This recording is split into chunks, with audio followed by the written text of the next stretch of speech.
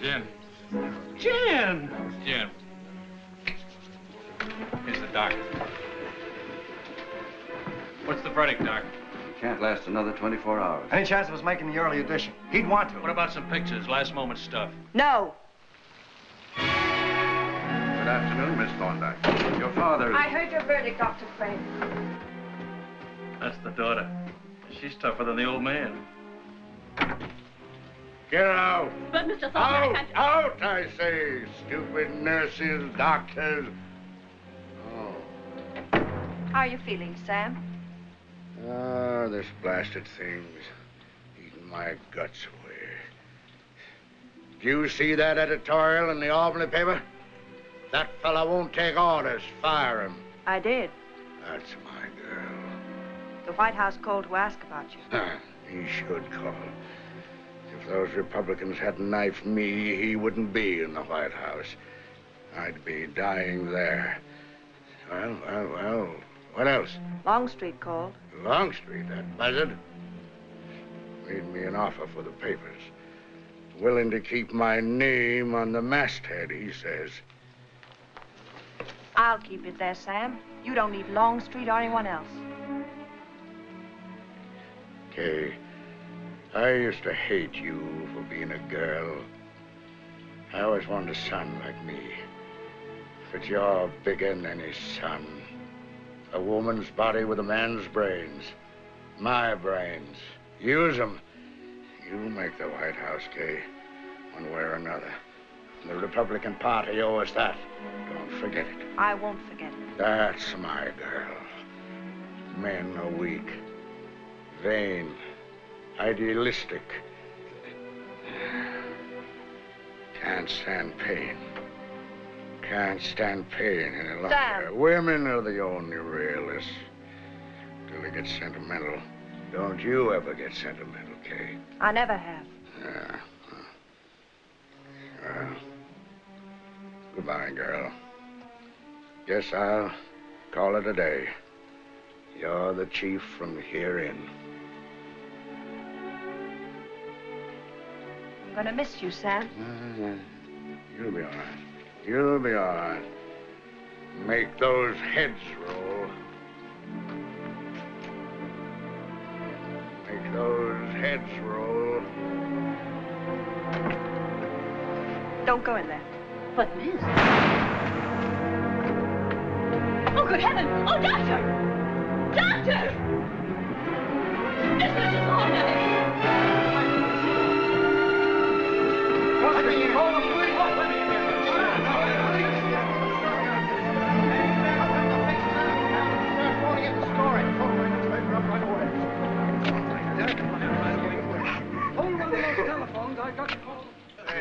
Congratulations. Congratulations. Wonderful. We are very Yeah, happy. 51. Oh, doctor. Lose your stomach, Mr. McMahon? Uh, Mr. Hawkins' office, please. First order you're right. Thank you. Hi, Stella. Hi, Carruthers. Well, if it isn't the poor man's Drew Pearson. Hey, new talent. You'd better go in before we have a new columnist. Oh, wait a minute. Who's in there with the lion tamer? Deep secret. Came in through the fire escape. Tailored? Mm-hmm. Tailored politician? Mm-hmm. Tailored Republican politician? What else? Tailored worried Republican politician? All politicians are worried today. Jim Conover, announce me. Spike McManus. Send him in. If I had your number, I'd call you and tell you who's going to be the next president of the United States. I know. Truman. You want the walls to cave in around here? I'll see you later. Hello, boss. Hello, Jim. What's cooking? You'll be. If one word of my being here gets out. Hey, boss, the freedom of the press. And if you must grace your column with my name, it's Conover. C-O-N-O-V-E-R. You've spelled it Canover, can opener, everything but Conover. Don't squawk. I haven't spelled a conniver yet. Let's skip the jokes. Jim, you know the Republican convention this year can end in a deadlock. I don't know anything. My uncle with the two heads does. Spike. Yeah, he tells me they're following the usual Republican policy that Tafts and Deweys and Stassens and Vandenbergs may knock each other out of the running even before the convention. Thus providing a perfect track for a dark horse. Which leaves you, Mr. Conover, a fight manager looking for a good heavyweight who can punch. Jim, I think I have your man. Yeah, you and everybody else. This is Kay Thorndyke, Jim, not everybody else. I'm sorry, Kay. It's just that you have to show me. I'm from Missouri. Ha! If you were from Missouri, you'd have a job in Washington. Lay off, Spike. All right, all right. Let's have it, Kay. Who's your man? Item one, born in Nevada. But there's never been a Western president. There are Americans out there, too. Item two, self-made, sold newspapers, worked his way through school. Item three, good war record. Pilot in Lafayette Escadrille World War One, decorated by three governments. Ancient history. Item four, started a two-by-four airplane factory and ran it into the biggest thing in aviation today. Look at me when I'm talking to you. First industrialist to introduce labor management plant administration. He's never even been threatened with a strike. He'd have labor in one pocket, big business in the other. Are you interested? No. What's Horatio Alger look like? Women have been crazy about him all his life, if that's what you mean. Well, that lets me, uh, And men? Part owner of a ball club. Ever run for office? Not even a dog catcher. Hates politics. Well, then what's giving him this presidential yen? Oh, he hasn't got it yet. You're going to give him that. On the newsstands tomorrow. Our planes have wings, but not our ideas. You could make him the next president, Jim. Okay, I'm not terribly impressed. I never am by amateurs. But if you and Grant Matthews happen to be in Washington and knock on my door to get out of the rain, But I have been trying to make this clear all afternoon. I don't want to be president of the United States. guess the job isn't big enough for him, boss. President, holy smoke. Why, when I was a kid, my dad took me on a two-day trip just to look at President Taft. On a clear day, you could see him for a couple hundred miles. Yeah, you sure could. After he passed, my father slapped me right across the face. And when I asked him what that was for, he said, just so you'll never forget the day you saw the President of the United States. well, Mr. Conover, I've listened to some pretty tall reasons around here why I could run for president. Self-made man, friend of labor, dark horse, and all that stuff. All very flattering, I might add. But could I ask you, a professional politician, to give me one good reason why I, me, Grant Matthews, should run for the biggest and the best job in the world when there are 10,000 Oh, other wait a men minute, who... wait a minute. Let's understand each other. I'm not telling you you should be president. I was under the impression that Kay Thorndyke brought you down here to sell me on the idea, not for me to sell you. Now, let's not get childish. Nobody's trying to sell anybody anything. Kay, the man doesn't want the job, and hundreds of others do. We're wasting our time. That's right, Kay. He's right. We're wasting his time. I'm not interested in politics or politicians. And I don't like airplanes. That makes us even. Although I could get to like you, Mr. Hmm. Conover. Uh, Mr. Matthews, it's uh, no skin off my nose, but just for my private files. You made a speech in Cleveland that hit the front pages all over the country, even the New York Times, with that stuff about either we all pull together or we get pulled apart. Every Republican leader wishes he made it. So? So, I'm trying to get it through my lame brain. If you have no interest in politics, why'd you make that speech? Oh, no, wait a minute, wait a minute. I can be interested in the country without being interested in politics. Oh, that'll surprise Jim Conover. I don't care who it surprises. Don't get the idea that I'm not interested in what's going on. I like this country, Mr. Conover. It's been darn good to me. I started with a screwdriver and a monkey wrench and two years of high school and built the Matthews aircraft. Did you ever fly an airplane, Mr. Co- oh, no, you don't like airplanes, do you? Well, you better not elect me president then, because I'd make it a law for every politician to spend at least a 100 hours in the air. This year, most of us are up in the air all the time. Well, the next time you're up there, Mr. Conover, look down. Look down on Pittsburgh, for example. What do you see? Smoke. That's right, smoke. From the steel mills. Miles and miles of steel mills. But you see something else, too, don't you? Farms, factories, lumber, mines, railroads, business, management, labor. Not one able to exist alone, but together, working together, with courage and imagination. That makes America. That's a great picture from the air. Yeah, but come down to earth and walk into one of those meetings like that one in Cleveland, and what do you find? Farmers, cattlemen, lumbermen, business, labor, they were all there. All working together in a pig's eye. All scared to death. All fighting each other. Each out for the biggest bite in the apple. Well, there aren't that many bites in the apple. That's what I was talking about in Cleveland, and that's why I'm surprised that you asked me here. Why surprised? Because you politicians, instead of trying to pull the country together, are helping pull it apart just to get votes. To labor, you promise higher wages and lower prices. To business, higher prices and lower wages. To the rich, you say, let's cut taxes. To the poor, soak the rich. To the veterans, cheaper housing. To the builders, uncontrolled prices. There's no halo around my head, Mr. Conover, but that's what keeps men like me out of politics. Hooray! Say, you didn't ask me to make the speech, did you? You just asked me what I said. Well, let that be a lesson to you. Mr. Matthews, you have just created the ideal political platform. Drown the politicians. Very funny. Mr. Matthews, now, if you really believe those things and weren't just spouting to hear yourself talk, you've just given yourself several reasons to run. That's my whole point. The only way to correct those evils is to get into politics. Get into the White House where you can do something about it. But, Kay, you just don't get into the White House. Millions of people have to vote for you. You're not afraid of the job, are you, Grant? What do you mean, afraid? Of course I'm not afraid, and I'd make a darn good president. What what am I saying? You've got me doing it now. Uh, I would like to pause at this moment and take a one-man Gallup poll. What chance do you think Mr. Matthews here really might have, Jim? Oh, I don't know. Any native-born American over 35 has a chance. Jim, on Tuesday, Grant starts a tour of his plants. Everywhere he's going, he's been invited to speak. Now, wait a minute. I'm going to be pretty busy, you know. I've got problems in all those plants. Grant, you've got to go along with us that far. Try it out. At least you get a few things off your chest. Spike, you're going along with him. You've been telling everyone for years how to run a campaign. Now we'll see if you can really run one. Oh, fine. I'll go right over to the White House and tell the Trumans to start packing.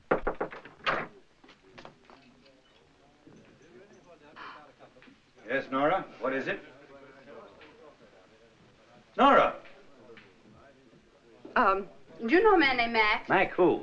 He's calling from New York. He just said to say Mac. Oh, Mac. Hello. Yes, I've been waiting to hear from you. Oh? Oh, wait a minute. Uh, I'll take this call in another room. I'll hang up as soon as you're on. Uh, do you mind? Mike has a little Drew Pearson blood. I thought it was agreed we're all going to trust each other. Only when we're in the same room. Say, Jim, I've been Just waiting a minute, for you. Congressman. I've got a call to answer. I don't get this. If he's really serious about me as a possible candidate, the Republican Party must be pretty desperate. The party isn't desperate, just kind of a. If he doesn't personally select the Republican candidate this year, he may as well turn, if you'll pardon the expression, Democrat. Are you on? All right, I'll hang up. Kay, put that down. Wait a minute, what? They've had someone looking you up. They picked up some gossip about you and me. Uh-oh. No. There's been some talk about Mary, too. Mary and some major. Who's Mary? Mrs. Matthews. Oh. A major. What? Uh, what's his name? I didn't get it. Well, what does it sound like? A major. Jim, did you see what that so-and-so wrote about me today? Well, isn't it true? Hey, it's five o'clock already. Spike, you may have trouble finding a taxi at this hour. If you want to talk privately, why didn't you say so? I just did. Mr. Matthews, you and I might take time to finish our drinks. Do you mind, Miss Thorndyke? Jim, I want you to know that Grant and I trust you implicitly. Thank you. I'm very happy about this, Grant. Miss Thorndyke, you might as well wait, too. That's what I was going to talk about. Close the door, Spike. Do you mind being seated? Naturally, Mr. Matthews, when your name first came up, I made some inquiries. It seems there's been some talk about you two. Oh, there's been that kind of gossip about every candidate except Herbert Hoover. They didn't pull it on Hoover because nobody would have believed it. There are no grounds for talk, Jim. Mr. Matthews and I are very good friends, period. You see, Mr. Matthews, while Miss Thorndyke happens to be single, you are a married man with two children. Well, if you consider that a major, a vital factor, why, I guess that answers it. What's the answer, Jim? It isn't my problem, but if it were, you two just wouldn't be seen together from now on. Now, wait a You minute, can't Jim. get to first base against a whispering campaign. Could I get a word in here? Perhaps Kay's friendship means more to me than all this political. That's all I wanted to hear, Grant. Jim's right. We don't see each other from now on. I knew she'd feel that way about it, and I'm sure that she'll agree with me on the next step. I think Mrs. Matthews should be down here with her husband, and I'd like to see her make this trip with him. Now, Jim. Brother Conover, that does it. That, you have just ended the shortest political campaign on record. Say, if my wife knew that I was even thinking of myself as president of these United States, I, you just don't know my wife. She'd call me Nappy every other minute. Nappy. Nappy, yeah, that's short for Napoleon. That's what she calls me when I get a little too big for my britches, which is quite often. I know what Grant means. The world is full of wives that devote their time to clipping their husband's wings. Now, Kay, that isn't quite fair to Mary. Mr. Conover, I don't want you to get the wrong impression about my wife. She's, uh, she's a very attractive woman and a very bright one. And it's just, uh, you know, a man can just take so much criticism. If you become a candidate, you'll have to take a lot of criticism. Yeah, your wife might be good training for you. Toughen you up. We've got to kill this gossip, Mr. Matthews.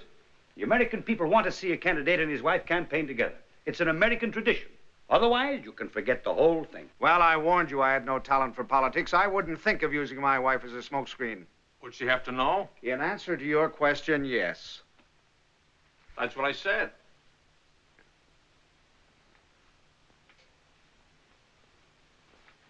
You know, I haven't quite made up my mind about you. Mr. Conover, I'm going to tell you something. As things now stand, I'm not too sure that my wife would go out and have dinner with me, much less make a trip like this. But uh, I still say I would have made a darn good president.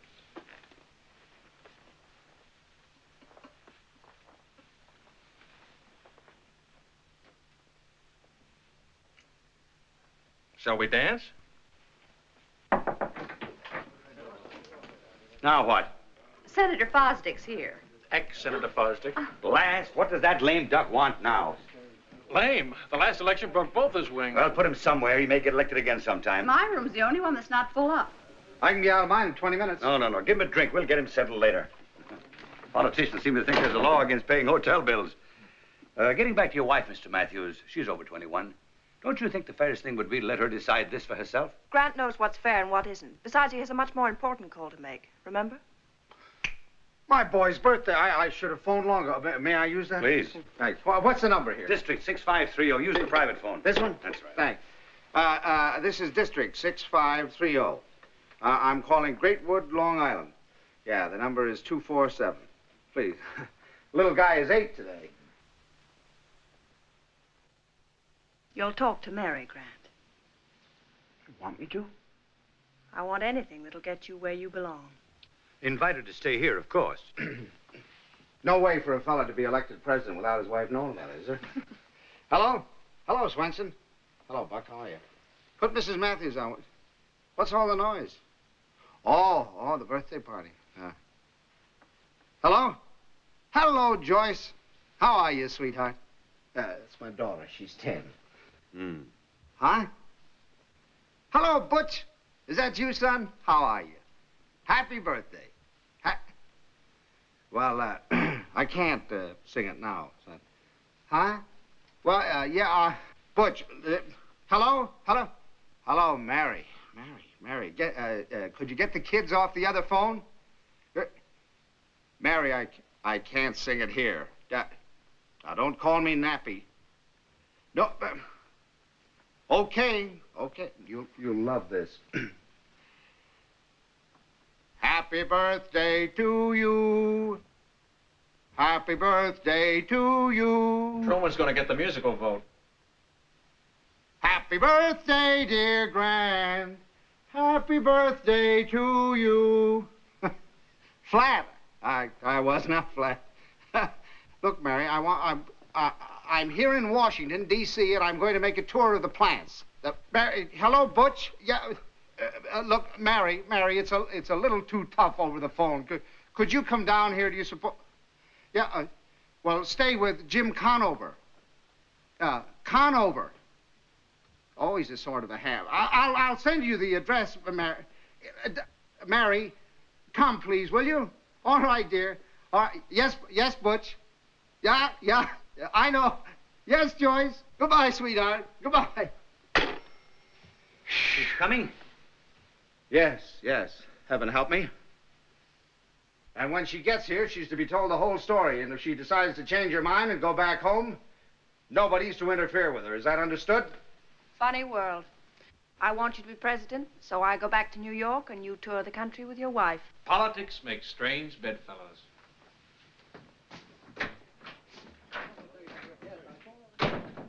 Come in.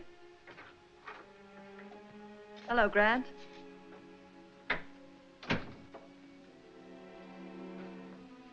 How's the people's choice?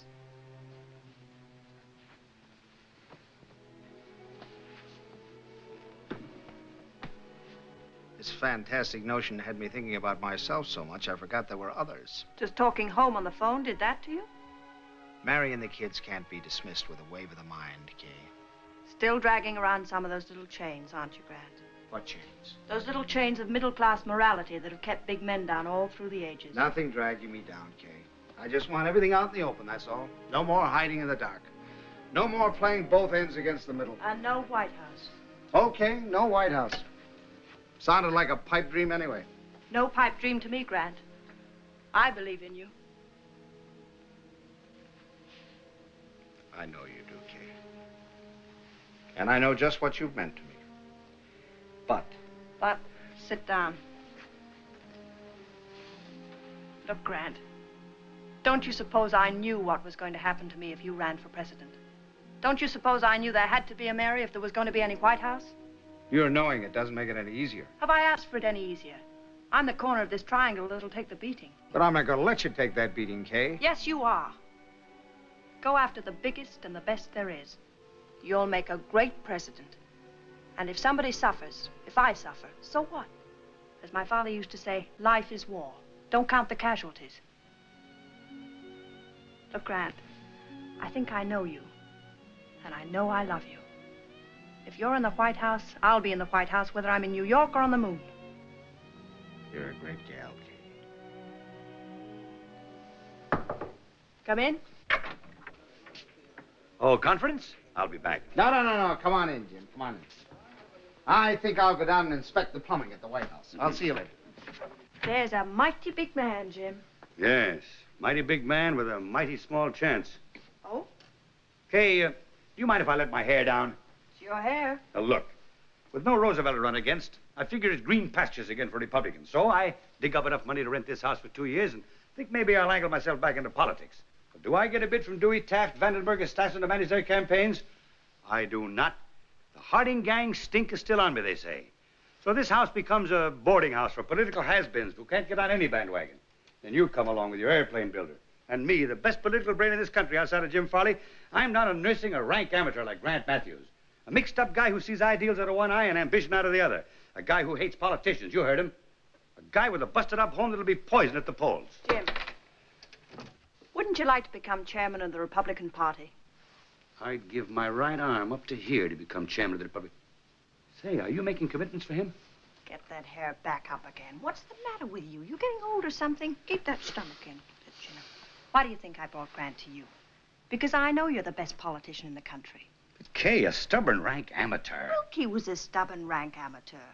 Get that political brain of yours working. This is the year of the dark horse. Kay, the best we could go into that convention with would be a small handful of delegates. Communists have taken over whole countries with a small handful of delegates. Yeah, but this guy worries me. The way he shoots his mouth off, he'll make enemies. I'm sending Spike along for just that. Spike. I need Spike like I need a hole in the head. Jim, the Thorndyke Press needs a new vice president. Sort of silent partner to advise on political matters. Good salary, an expense account that might include a four-year lease on this house. Win or lose? Win or lose. Well, the dark horse is getting whiter. Kay, uh, just so I don't stumble over things in the dark. What's your stake in all this? I want nothing. I don't know. People that want nothing worry me. The price isn't right. You know, I know about your father and the Republican Party. You also know that they've given me the beautiful brush off ever since. On occasions, they've even seen fit to describe the support of my newspapers as the kiss of death. Well, I thought if I could present the country and the Republican Party with the next president of the United States, it would give me more than a little pleasure to see certain heads roll. Well, if they're the same heads I'm thinking about. They are. Let's put this thing over, Jim. He's the ideal man. He's the rare combination of sincerity and drive that the common herd will go for. They think he's one of them. He thinks he's one of them. But is he the kind of a man we can handle? Will he play ball? He's in love with me, Jim. You, know, you can lead a dark horse to water with that love stuff, but can you make him drink? A moment ago, you very shrewdly observed that Grant saw ideals out of one eye and ambition out of the other. You were dead right. But wait till that presidential bug really bites him. Wait till he sees the White House out of both eyes. Then he'll drink. And so will I.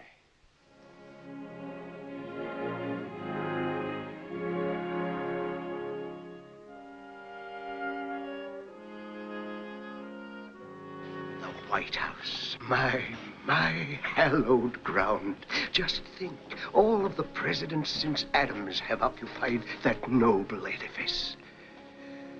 Needs painting. I beg your pardon. I say it needs painting. Needs painting. Sir, you're the kind would whitewash the dawn. What colors would you add to a desert sunset? or to the cool green of the sea, or the blue of the sky? Does the goddess of liberty need makeup? Do you know who lives in this historic mansion? Yeah.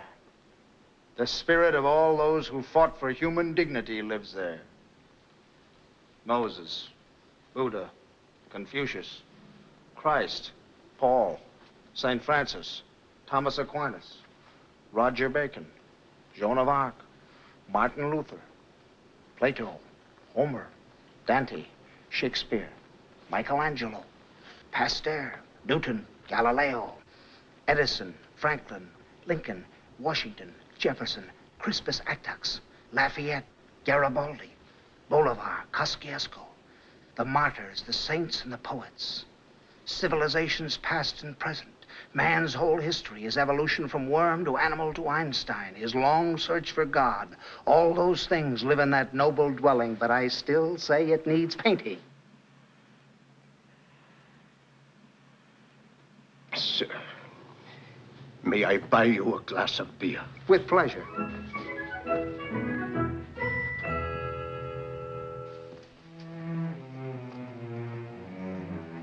Could you bring my bags in for me?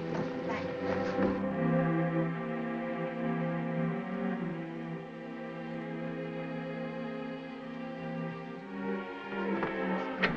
Check with Lee before you print that one. The rest of the columns Oh, okay? Jess, no more good stuff mail from now on, just the cheap stuff. If that's a long distance call, you'll pay for it yourself. Mr. Conover, Mr. Conover, Mrs. Matthews is here. Mrs. Matthews? Already? Oh, Jim, don't faint now. But what if she won't make this trip? She's got to make it. Jess, the good stuff for Mrs. Matthews and put a bottle of champagne on ice. Yes, sir. Where'll I put her? Uh, put it in Mr. Matthews' bedroom. And, and take care of her bags. Remember that phone call's on your own. I'll mail everything in from now on. Right.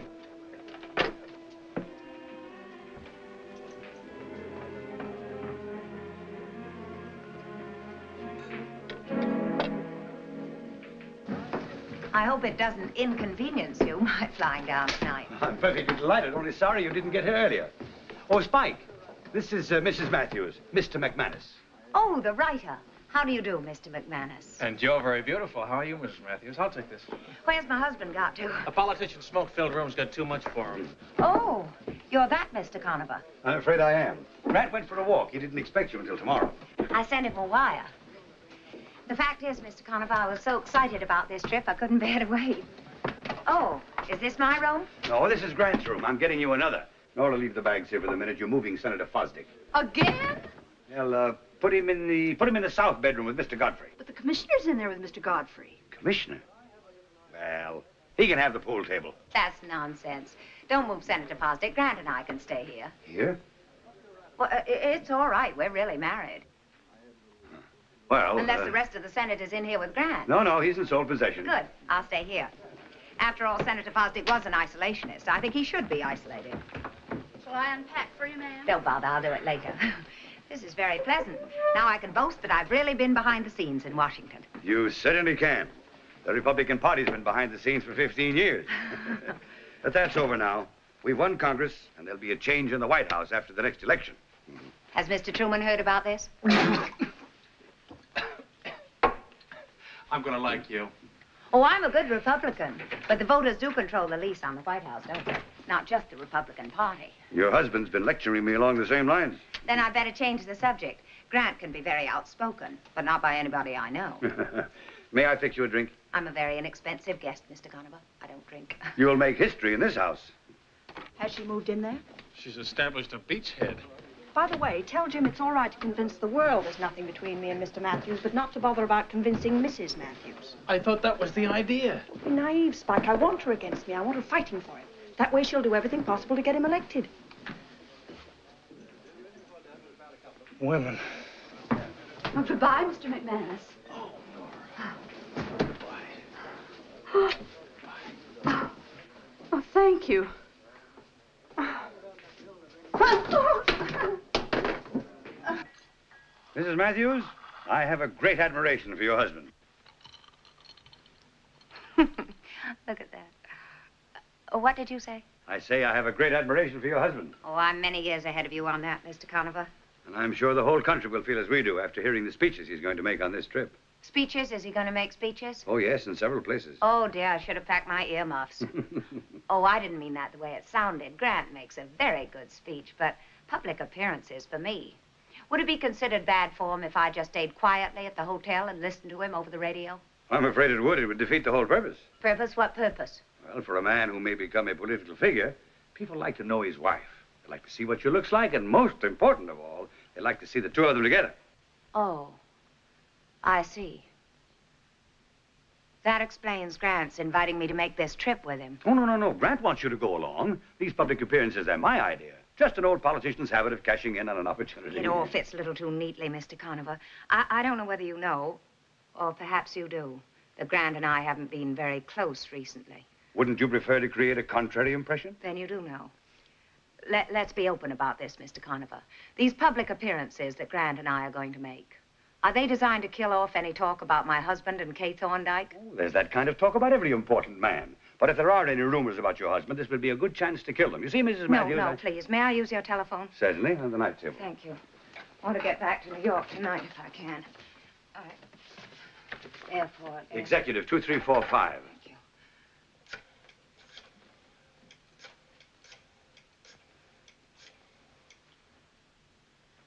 Mrs. Matthews, I think any man who has a chance to become president of the United States deserves that chance. President of the United States? Yes, don't you think he'd make a good president? Yes, I do. A fine president. Well, then you see how this goes beyond personal considerations. We can't think of this just in terms of you and Grant. And Kay Thorndyke. And Kay Thorndyke. I'm sure you'll go along with this. You're a good citizen. Right now, Mr. Conover, I'm not feeling like a good citizen. I'm feeling like a woman. All right, as a woman, then. As a woman, no, I resent being used. This evening has been quite a kick in the teeth to me, Mr. Conover. I was hoping that Grant's call meant no more Miss Thorndyke. It'd be fine to kill these rumors. It'd be even finer to kill Kay Thorndyke. Well, let's think of this in terms of the country. That's what I've had to do. Frankly, Mrs. Matthews, your husband is not the answer to a politician's dream. I've been wondering why any political party should choose Grant, knowing the things he stands for. Well, I want the country to make the choice, and I think I know the choice they'll make. You take my word for it, Mrs. Matthews, your husband's a pretty big man. Oh, there's no argument about that. I know he's a big man. You know he's a big man.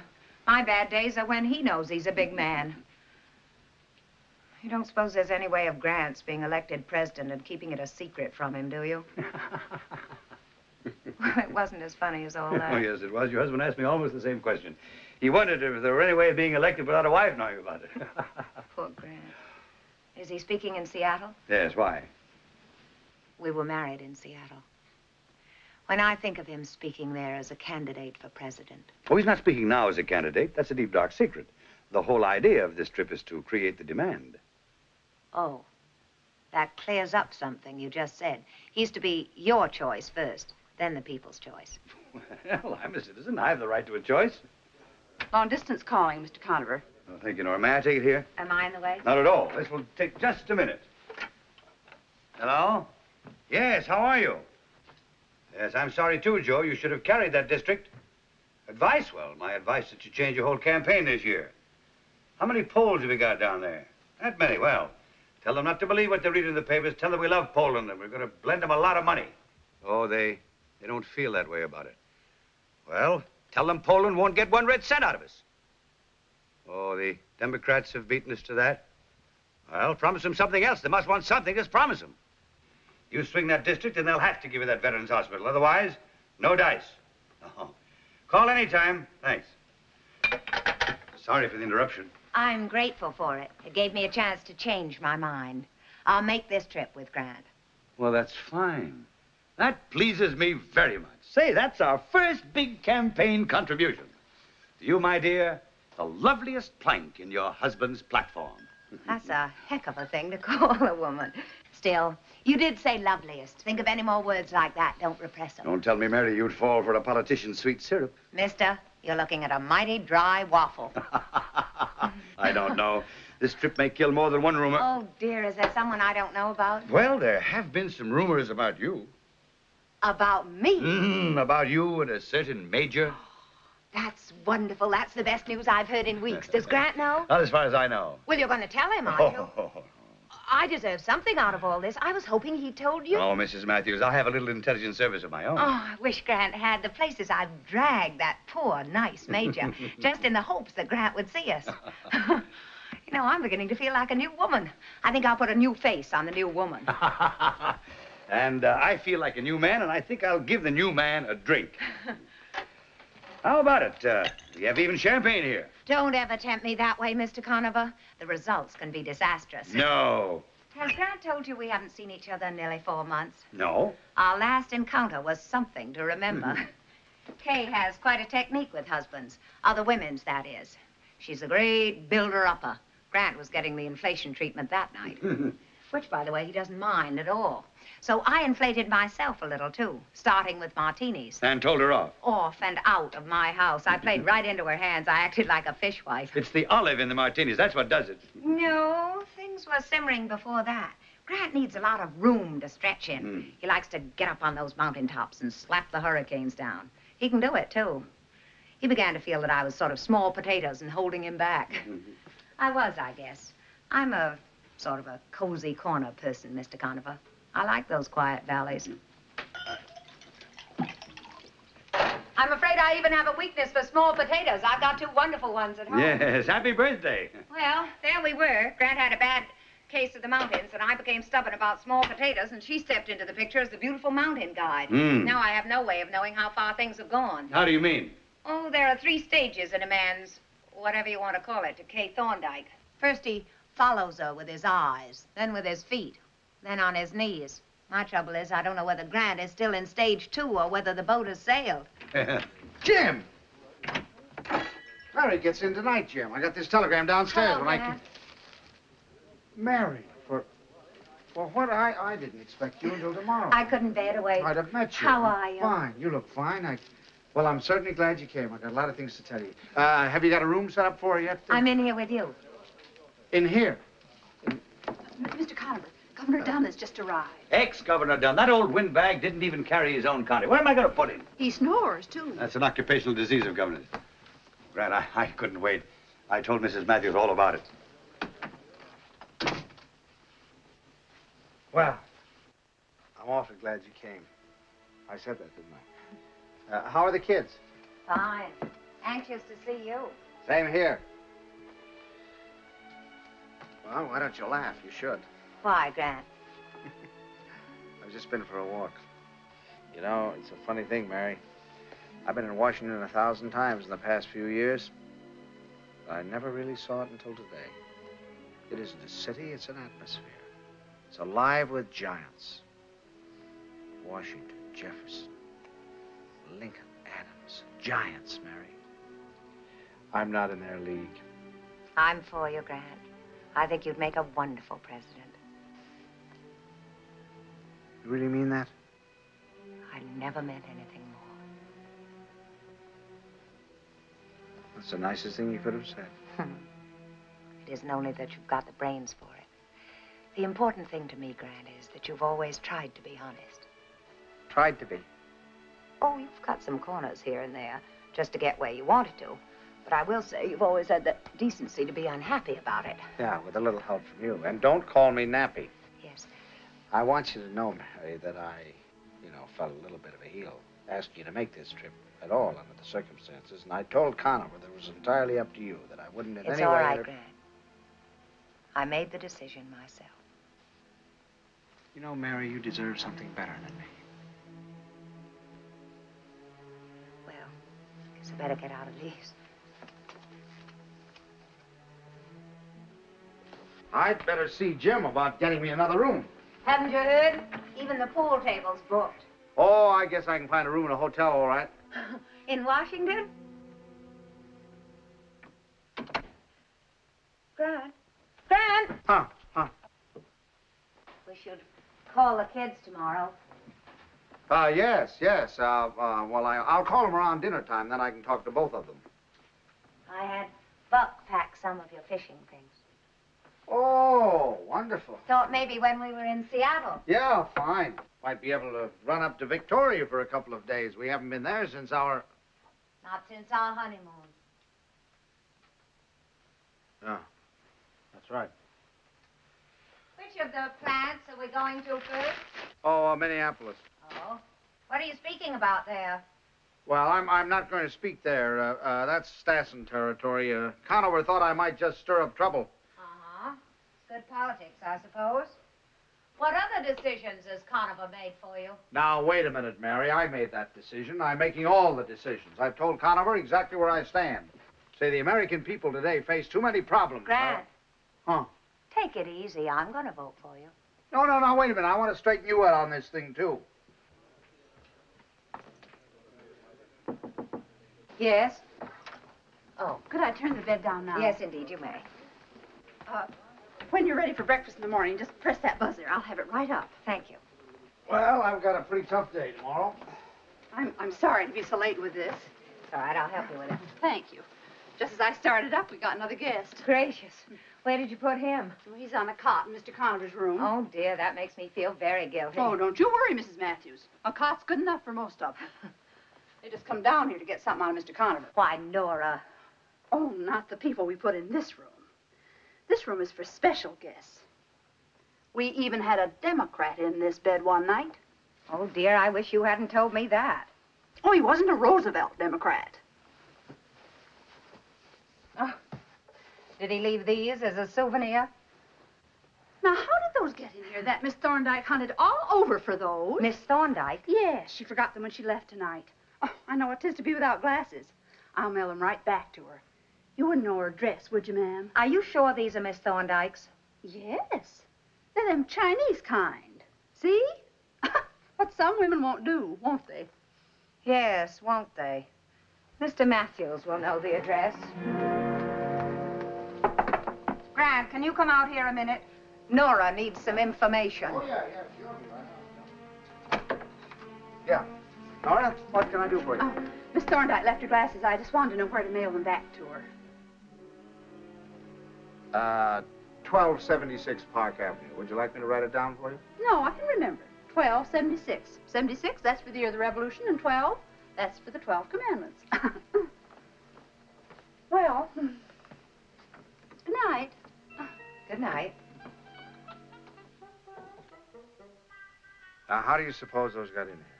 Why did she leave? We could all have had a lovely weekend here together.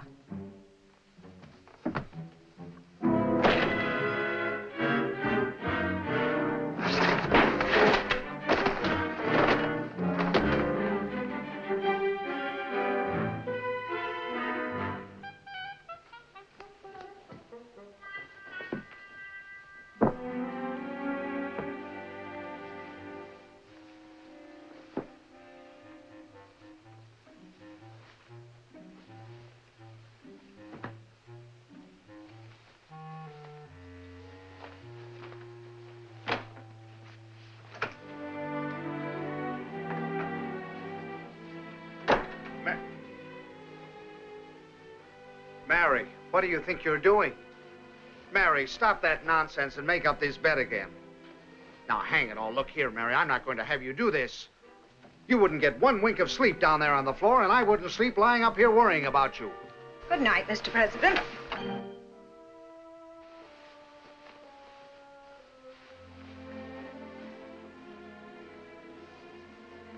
You mean Mr. Vice President, don't you?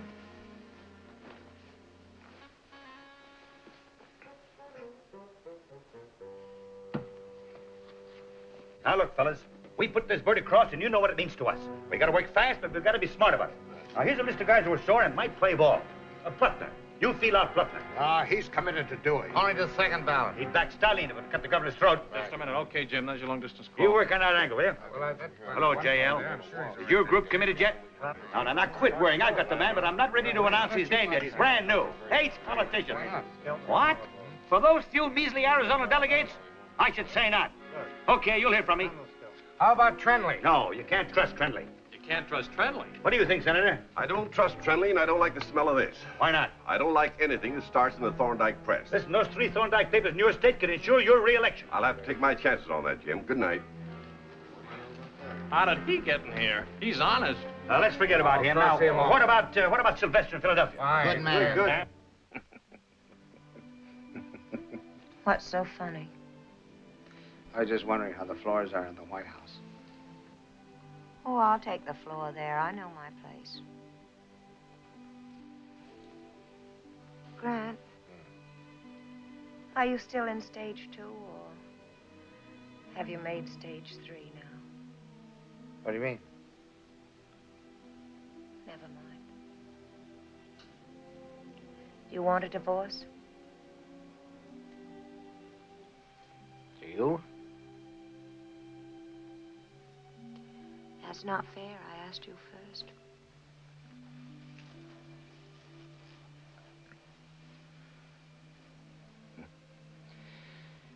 The world thinks I'm a very successful man. Rich, influential, happy.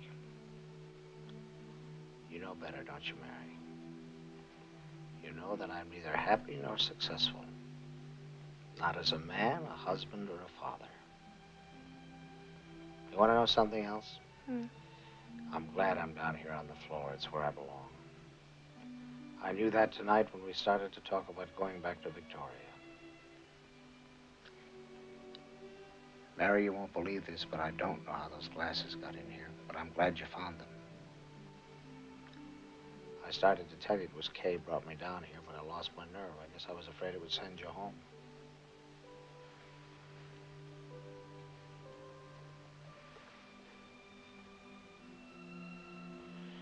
There are moments in the life of every man when he glimpses the eternal. You read that to me, remember? I've had moments like that, Mary. A couple of them. When I was up in a plane alone.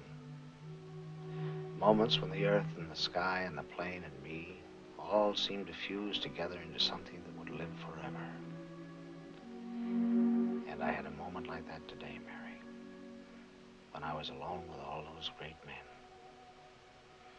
They were happy men, Mary. Do you know why? They had a cause. They had a cause they could die for. Some of them did. I have no cause, Mary. Beating your competitors, no cause to die for. Really isn't very much to live for. Always me first and everybody else second. But way down deep in my gizzard, I. Maybe this trip, maybe this whole absurd idea of Conover's. Well, anyway, I'm going to stay on the floor through the whole trip. And maybe when it's all over. Well, one way or another, everything should be clean and honest between us, right? Well, you've answered one question. What? You're still not in stage three.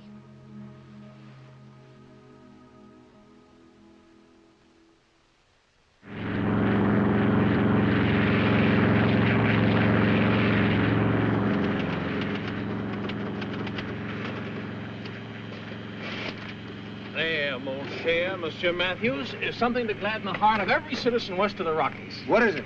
The Seattle speech. A masterpiece of rhetoric, if I do say so. Who's going to make it? Eh, You are, of course. Oh, really? I thought maybe the setup had changed and that you were the candidate. No, I'm saving myself for 52. Yeah, well, you better save the speech, too. How do you like that? What do I do? Just sit around here with egg in my face? I'm the expert that keeps you from climbing out on limbs. That's where the big red apples are. Where? Out on the limbs. all right, all right, if you don't want to be president. You just line up the babies for me to kiss on and I'll be a cinch. Well, that reminds me, do I know any babies in Seattle?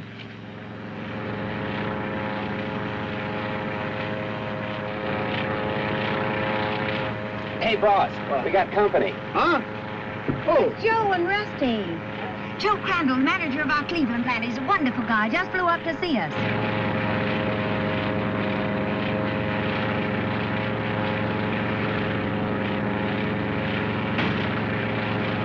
He's going Rusty us. Miller at the controls. Joe and Rusty, here's where I Oh. make some money. I'm going to take Oh, over. you. Brand. You're not going to oh. fly this thing. Oh, you got to learn sometime, son. Come on, shove over there. Shove over. Look at that guy. will you?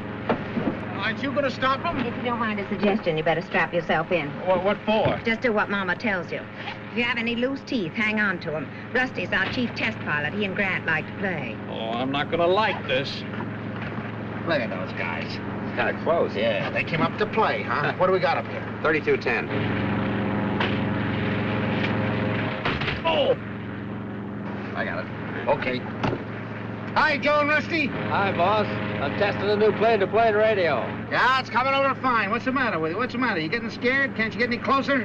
Hey, boss, can you still fly? I can bat your ears down anytime. Got any dough? I'm loaded. A buck, I lose you. Put your money where your mouth is, brother. Okay, you're on. Hey, you hooked up? Oh, yes. Hang on.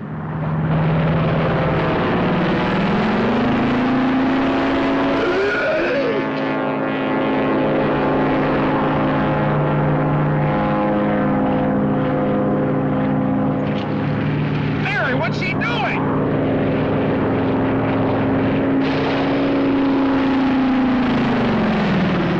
You better stay away from me. I'll cut your tail off.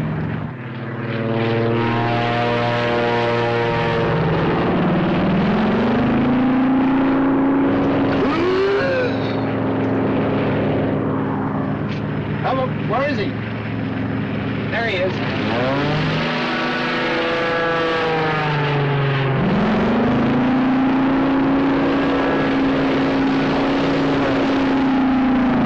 If your husband must have a hobby, why can't he play the piano like any normal president? Come on, Rusty, do something. Oh.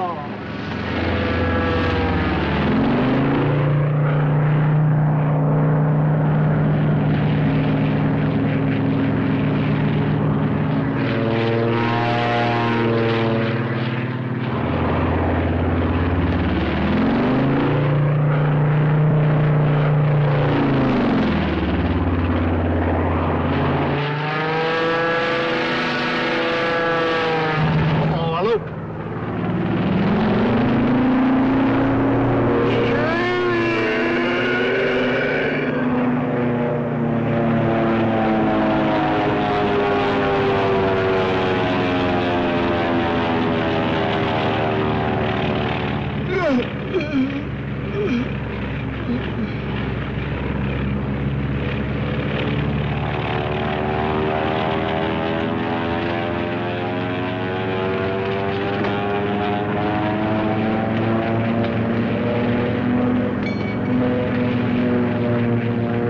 What's the matter, Spike? Can't you take it?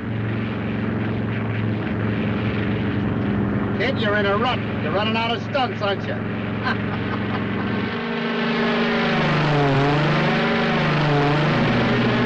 Hey, boss, you're not gonna spin this thing. Why not? I built it.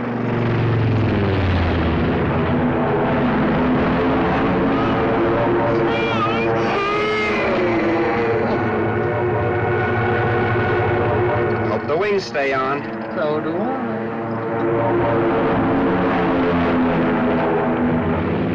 Did they stay on? I'm afraid to look.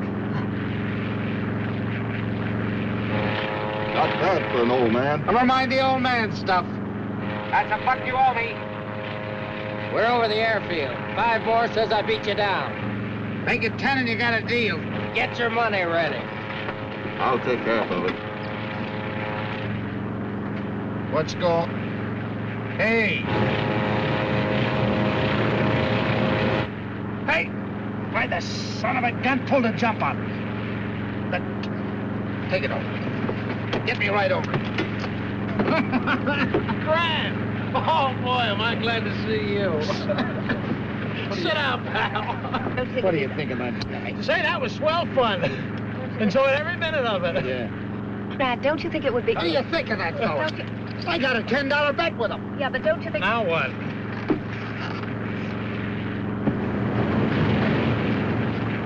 Coming over. Cut down that left engine. Give my love to Conover. Grant! There, he fell out! You happen to notice, was he wearing a parachute? Oh, parachute?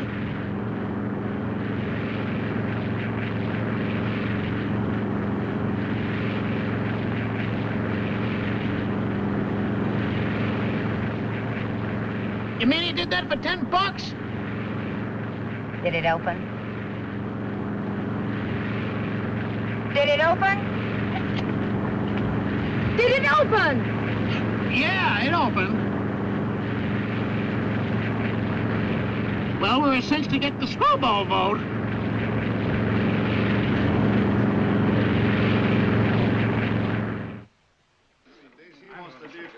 We're running eight pounds as it is. Well, we need a few laughs.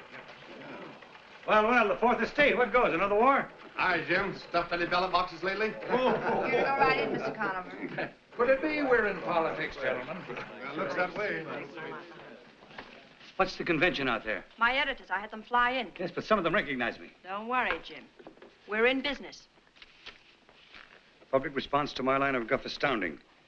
If I throw my hat in ring, does my head go with it? Grant Matthews. Well, well, the bug's beginning to bite, huh? You're so right. Now we can really go to work. My reports on him have been terrific. What have you heard? Well, he was over the mob, no doubt about that. I told you that. Made a big hit through the Northwest. Los Angeles was fine, too. But, of course, that's a pushover town. It's the Midwest that we I have know, to... I know. He's in Wichita this noon, big labor rally. Detroit tonight, big business banquet, and that's it. Got my fingers crossed. If he gets by those two, we are in business. How do your political friends feel about him? Well, now, that's what I want to talk to you about. Ed Lauterbach wants in. Well, Well, I wanted to see if you'd stand for Lauterbach. we'll stand for anyone if they've got delegates. Even Bill Hardy? You're really dragging them out from under the rocks, aren't you? Well, those are the worms that do the work. They're the hungry ones. Okay, Jim. Bill Hardy, too. Good. Send him in, Helen. Yes, ma'am. Would you come over here, Jim? Hmm. Good morning, Miss Thorndyke. Good morning. Good morning. Sorry to have kept you gentlemen waiting. You know Mr. Conover, our new political advisor? Gentlemen. First of all, I'd like to thank you all for the very fine job you've done. You haven't always followed my advice in the past, but you've been very lenient considering your boss is a woman and still under 60. I've asked you all to come here today because in this matter at least, there can be no deviation from my instructions. I want the Republican convention deadlocked. Who are we working for? The Democrats? You're working for the Thorndyke Press, and the Thorndyke Press will have its own candidate. That's why that convention must be deadlocked. And it won't be unless the leading candidates are so sore at each other that they won't combine forces. Is that clear? I want Dewey at Taft, Taft at Vandenberg, Vandenberg at Stassen, and all of them at Eisenhower and MacArthur. Use their wives, their kids, their Aunt Marthas, but get them sore. Dig up anything you can. And if you can't dig it up, Chief, I've got nothing against your candidate. We all know who it is. And I'll work for him in any way that I legitimately. But that's as far as I can go. Mr. Bradbury, would you feel happier working for some other newspaper? Yes, I think I would. I think that can be arranged. Anyone else? Now's the time. On this issue, I'm quite prepared to replace all of you. Miss Thorndyke, you're mad. You're as mad as your father. You can accept my resignation right now. That goes for me, That's too. exactly the way I feel about it. All right, get out, all of you. Editors like you are a dime a dozen. Yes? It's for Mr. Conover, Wichita calling. Oh, that'll be Brander. I had him fly out to hear Grant. Hello, JB. How are you? Wait a minute. Wait a minute. There must be some mistake. Now, JB, take my word for it. Everything will be all right. JB, now, wait, wait, wait a minute. He hung up. What happened? I don't know. According to Brander, Grant's blown his top on labor. Yes? Mr. McManus from Wichita. Spike. Spike, what happened? Grant just lost the labor vote. But I sent you along to prevent just that. I couldn't help it, I tell you. He's gotten away from me. You're a great campaign manager. Didn't, Didn't you get a look at that speech before he made it? No, and I'll tell you why. I touted him off that labor stuff in Denver. She knew he'd change his mind and started throwing those harpoons into him. You mean he's white? I don't mean it's Aunt Tilly. You sent the wrong dame on this trip, that's all. And I talked him into taking her along. What's he talking about in Detroit tonight? How would I know? I lost my Ouija board. I told you we couldn't trust that guy. He's believing his own stuff. If he blows his top on business the way he has on labor, well, I'll blow mine. That woman's got to him. She's been feeding him that to thine own self be true diet. Jim, get out to Detroit as fast as you can. Spike, Jim's flying out. Book Cadillac Hotel.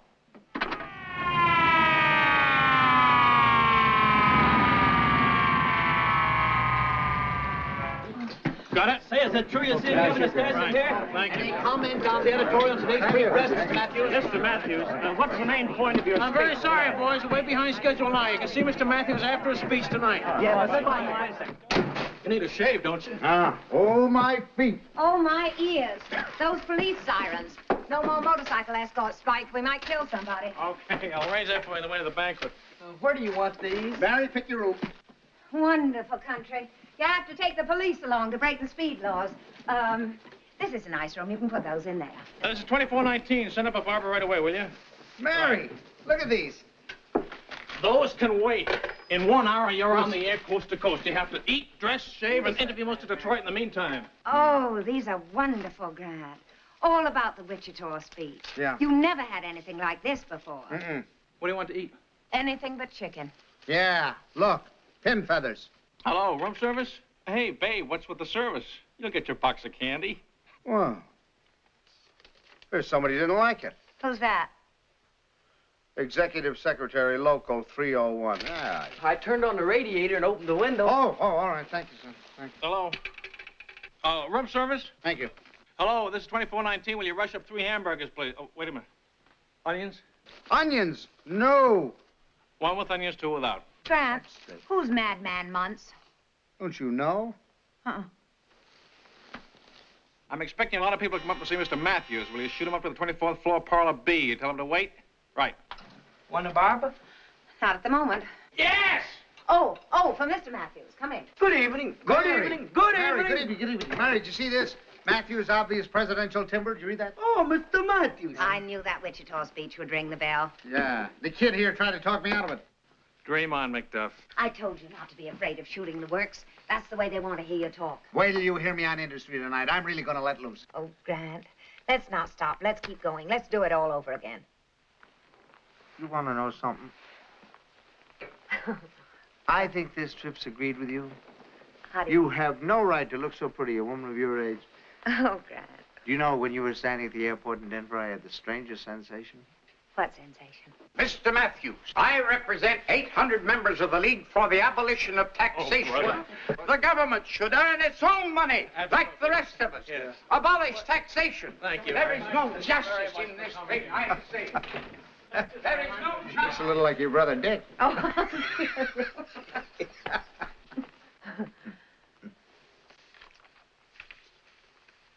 Go on, Grant.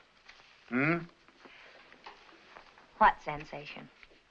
Oh, oh, well, you were uh, uh, standing there at the airport in the moonlight, and the wind from the propeller was blowing your hair. And your dress. Will I get would- you other bags now?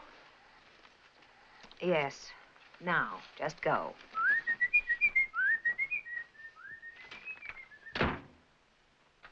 Go on, Grant.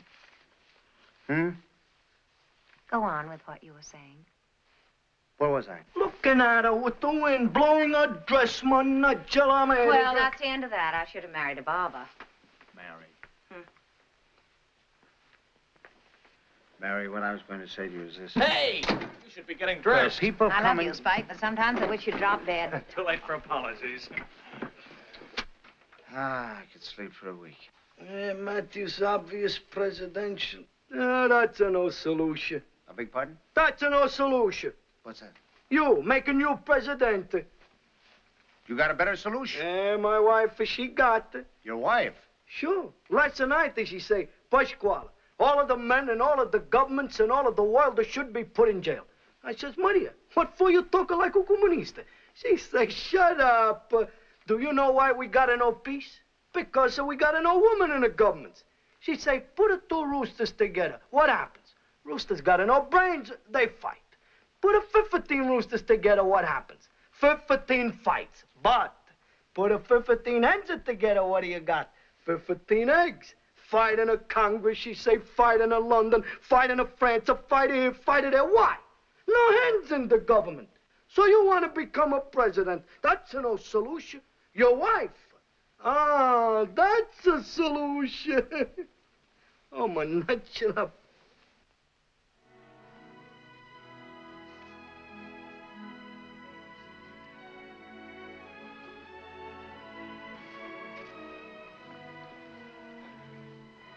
Grant. You. Mr. Candidate. Mr. President. Yes? That got him. Oh, I've just had the darndest dream. Mm, all candidates have that dream. On your toes, Matthews. That man is here. Jim! Hello, Jim. What are you doing here? Hello, Grant. I thought I'd come out and bring you up to date on things. Taking my wife for solution. His wife's what? He thinks Mary should run for president. Oh, that's silly. No woman could ever run for president. She'd have to admit she was over 35. Well, politics certainly agrees with you, Grant. You're looking very fit. I'm feeling very I fit. mean, very fit. Oh, dear. I wonder if anything will fit. You won't have much time with Grant, Jim. I've got a lot of people lined up for him to see, and they're due any minute. Want to read some of these? Grant, uh, what are you talking about here tonight? Well, you know, this is the last speech, Jim. It's got a little bit of everything. Anything controversial? Not for anyone who agrees with him. You've got to get dressed then. Yeah, yeah. Uh, Grant, while you're dressing, have you got a copy of tonight's speech I can be glancing at? Well, it really isn't a speech, Jim. You know, I'm just going to talk from notes. Uh, I turned off the radio. Yeah, yeah, you put up the window. That's fine, son. Good night and thanks. You'd make a good Secretary of the Treasury. Good night. Say, if you really want to read something, Jim, read this editorial. And all those telegrams. Oh, these? Oh, they're just from people. Just from people. Yeah, you didn't find any of them signed state chairman, did you? Grant, you're going to be late. Now, you know, after I'm president, you're going to have to quit shopping. See what I mean? I told you you sent the wrong dame along. Yeah, it's a crime. The boys in the Northwest and all along the coast were swinging right in behind him. And Then they had to stick out his chin in Wichita. How much damage has he done? Well, we may have lost labor. I must have had 30 calls after that last speech. Well, when we get to New York, Kay will straighten him out. She's got the Indian sign on him, you know. But that doesn't fix us up for tonight. What are you afraid of tonight? I don't know. Only she's too doggone happy. Hey, I think it's a good sign, Jim, coming down here. Afraid somebody else will get his place on the bandwagon. Yeah, don't tell him what you're talking about tonight, though. Why, why not? I don't know. I just don't like Jim turning up all of a sudden like this. Oh? Don't underestimate this guy, Jim. People don't just come up and shake hands with him. They're up there with a light in their eyes. If he gets away from us, you may be heading a Stop Matthews movement. I don't want to stop him. I know this convention's going to be a rat race. I think we can nominate him. If we can keep him in line. Well, now I've got some good news for you. The guy's vulnerable, Jim. He's got the bug. Yeah, how bad's he got it? Well, he's seeing himself on statues already. And I think we'd better tell him the facts of life. Yeah, you, you do that, Jim. Dinner! Spike, you just sang a symphony. Oh, Grant, leave your hall door open, will you? I got a lot of people coming in. Okay. Oh, you can eat mine, Jim. Okay, here we go with the first bunch of patriots. And remind Grant they've got votes, will you? Spike does take the nobility out of a crusade, doesn't he? Am I supposed to be noble on my salary? Mary, I can't go to this banquet tonight. Might start talk. What is the boy orator giving out with tonight? I have a much better idea. Hello. Hello. Would you have a radio sent up to 2419 right away? Thank you very much. You better be good tonight, Grant. Jim will be listening in.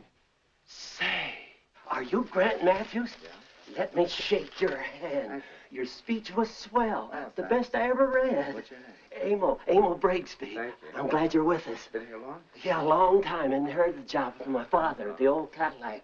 Married? Oh, yeah, four kids. Oh, kind of expensive these days. Yes, it is. Yes, it is. You're right about that. Give it to him tonight, Mr. Matthews. Give it to him. All right, Emil, I will.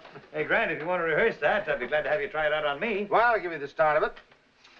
Ladies and members of the Industrial Council of Detroit, what is the biggest single question facing the American public today? Who's with onions?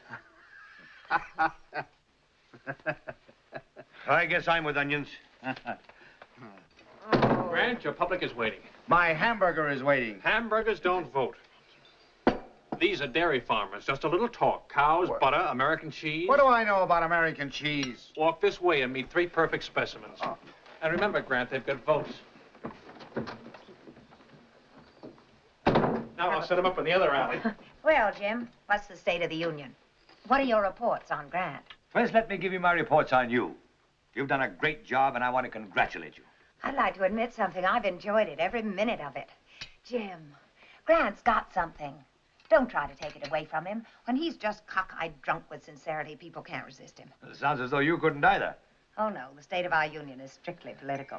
Thought I saw Grant throw you a look or two tonight that wasn't entirely political.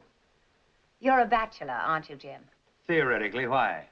Well, if you were married, you'd know that there were little things that sort of... Well, for instance, when uh, Grant found out once that the girls at school used to call me Maisie, he He knew I hated it. So sometimes he used to call me Maisie just to tease me. Well, Maisie doesn't live here anymore. Uh, uh, another thing, he always hated to hear me swear. Whenever I let go with something, he used to smack me on my sitter hard. I've done a lot of swearing on this trip. And no smacks? It's a small request. But I'd give anything for one good smack on my south end. I certainly wish that I could do something about that. Well, how's the farmer's choice? Say, after the beautiful things I have just said about cows, I certainly feel guilty eating this hamburger. It's like eating one's dearest friend. Ah, back from the pasture. Wipe off your feet and come in to meet the AFFL. You give me time to eat. Yeah, let him eat. This is a crisis. I have to know you're holding the AFFL in there while I sneak the CIO into the other bedroom. Well, put them both in the same room and I'll talk to them. Little boy Blue, haven't you heard? They ain't keeping steady company anymore. I'm serious about that. If you tell those fellows in there the CIO are coming in, then I'll come in and talk to both of them at the same time. Grant, you're just asking for trouble. Now, I don't mind you having your head in the clouds, but I wish you'd keep your feet in the voting booth. Now, look, Jim, those men in there are the kind of men who are responsible for the Wildcat strikes. If I can make them see something bigger than their own jobs as head of their own locals, and whatever little power they get from that. There may be now, some you shut up. That's Keep out of of the this. things I came out here to talk to you about. Your Wichita speech chilled off most of the labor leaders in the country. I know because I talked to them. Why? What did I say to them? I just said when the members stop running the unions, the unions start running the members. Good heavens, Jim, I'm for labor. Oh, sure, everybody's for labor. That's like saying you're against sin. But the labor leaders don't think you're for them. Not after that crack that they're responsible for the Taft-Hartley law. Well, no dice. They're even mad they're in the same hotel together. That makes me mad. Watch out for the little guy they call Mac. Now for some counter-espionage. Jim, how can you say that Grant offended labor? That Wichita audience was full of cheering union men.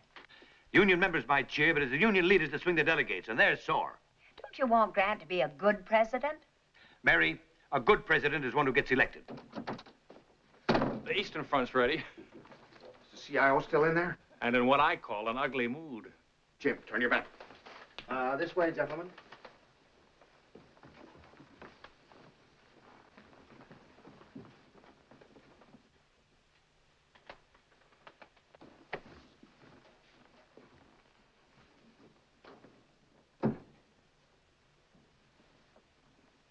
You know, Grant might be able to unite the United Nations. Open up in there. Open up there. Where is that Grant Matthews guy? Ah, uh, who are you? Well, my name My name's Sam Parrish, chairman of banquet committee, bosom friend of Grant Ma- Mary. Sam. Bless your heart, you're just as pretty as ever. Mwah! I could eat you with a spoon. Why, Jim Conover, you old son of a gun. Hiya, Sam. What are you doing Now, here? take it easy. You're the only man in Detroit who knows I am here. Say, can't you wait outside somewhere, fella? Oh, excuse me. Well, what's going on here, anyway? Say, darn it, I might have known. Jim, you're psychic. I was all primed to come to Washington to sell you the idea we need a businessman like Grant in the White House, and you beat me to it. Where is Grant? That's a date, Sam, and bring cash. Sam, Uh, Grant! when the walls started to shake, I knew you were here. Still alive? yeah, I'm still alive. So are they. As a matter of fact, the AFL just invited the CIO to have a glass of beer. Under whose jurisdiction? The Midtown Bar and Grill. Uh, have you got everything ready for tonight, Sam? Ready? Why, there'll be more money per square inch at that banquet than there is in the mint. Mary, you go right home and start packing. You're moving into the White House. I never was so happy in my life. Looks like our turn's come again. Wait till you hear my speech tonight. You may not be so happy. What do you mean by that? Uh, last time I was in New York, Grant and I had a knockdown and drag-out fight about tax reduction and inflation. Is that what you're talking about tonight? Oh, you know, Grant talks like a radical, but any man's made as much money as he has a good sound American. Well, uh, see you later, fella. Uh, tell you what, take another good sock at labor tonight, you'll make a real hit. Doggone it, Mary, I'll be telling people I knew you when. Who are you? Well, my Uh, name let me out of here. Uh, hey, wait, they're going down? Mary. Strike! Don't you dare do that. All right, I can starve, but that's the way you make communists.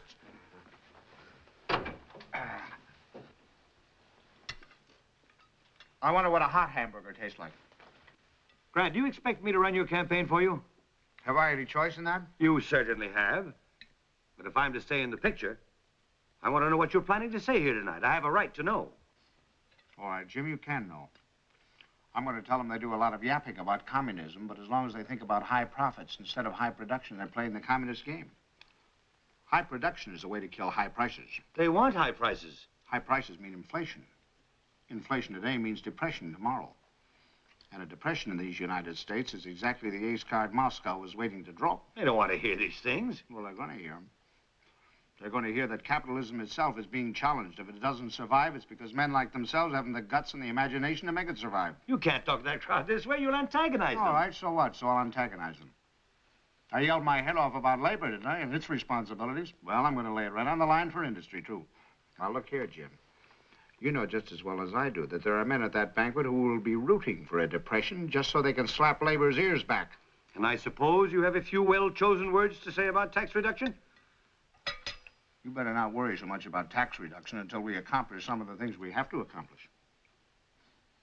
I'm going to tell them that the wealthiest nation in the world is a failure unless it's also the healthiest nation in the world. That means the highest medical care for the lowest income groups, and that goes for housing, too. The one thing this nation is not rich enough to afford is not having a roof over our heads. And I'm going to tell them that the American dream is not making money. It's the well-being and the freedom of the individual throughout the world, from Patagonia to Detroit.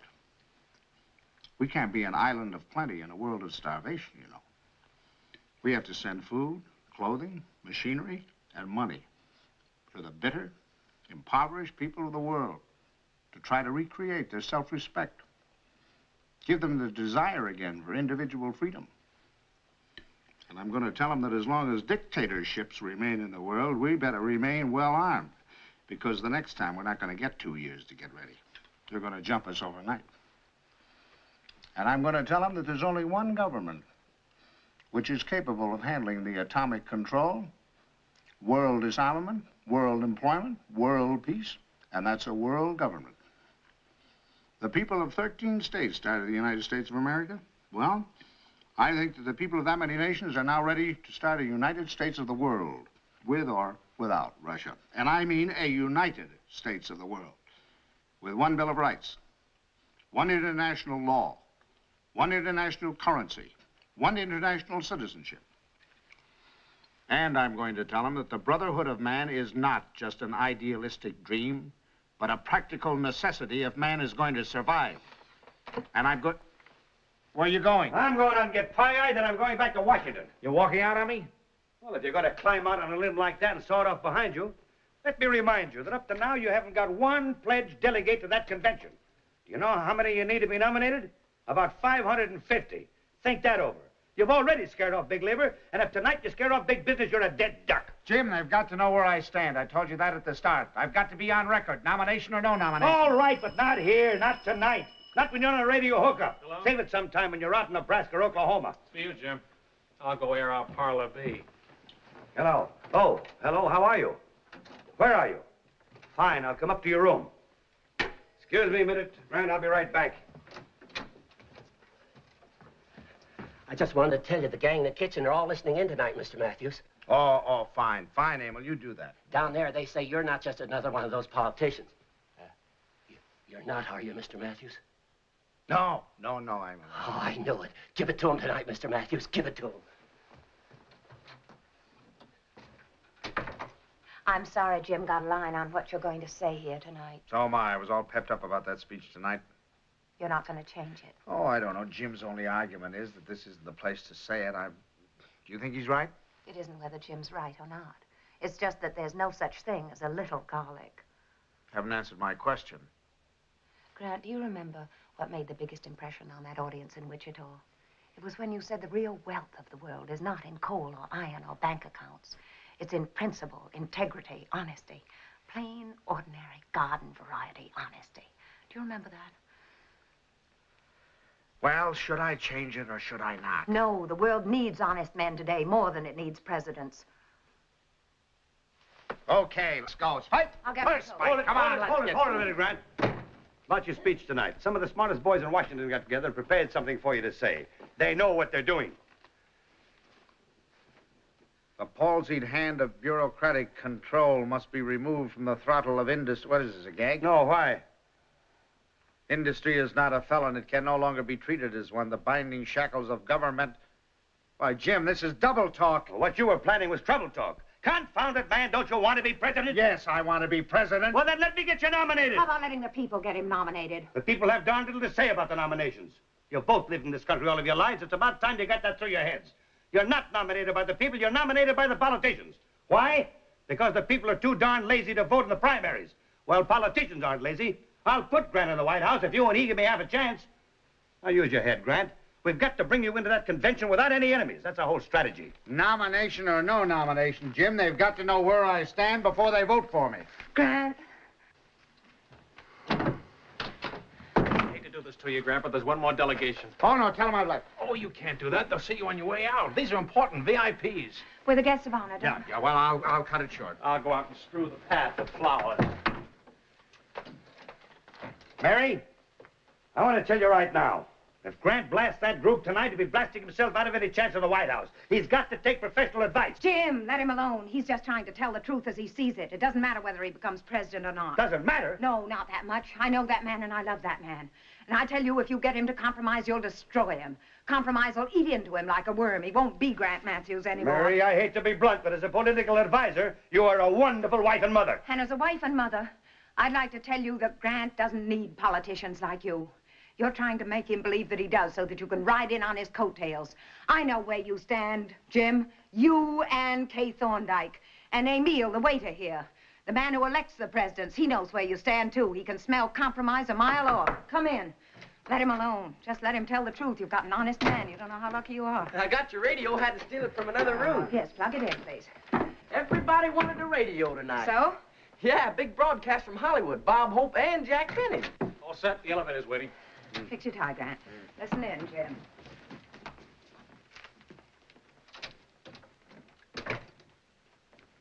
My bag. My bag. What's Where's that my in your bag? hand? Oh, that's my bag.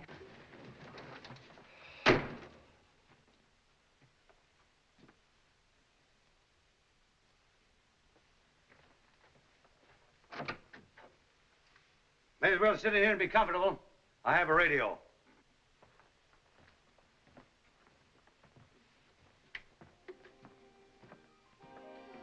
Dare I listen? You can listen. Are you sure you were only with him a few minutes? And Mary's had weeks, I know. It wasn't hard, Jim. All I did was to tell him the things he wanted to hear. But there is one question on his mind you'd better have the answer for. What's that? He's beginning to wonder if there is any difference between the Democratic Party and the Republican Party. Now, that's a fine question for a presidential candidate to ask. There's all the difference in the world. They're in and we're out.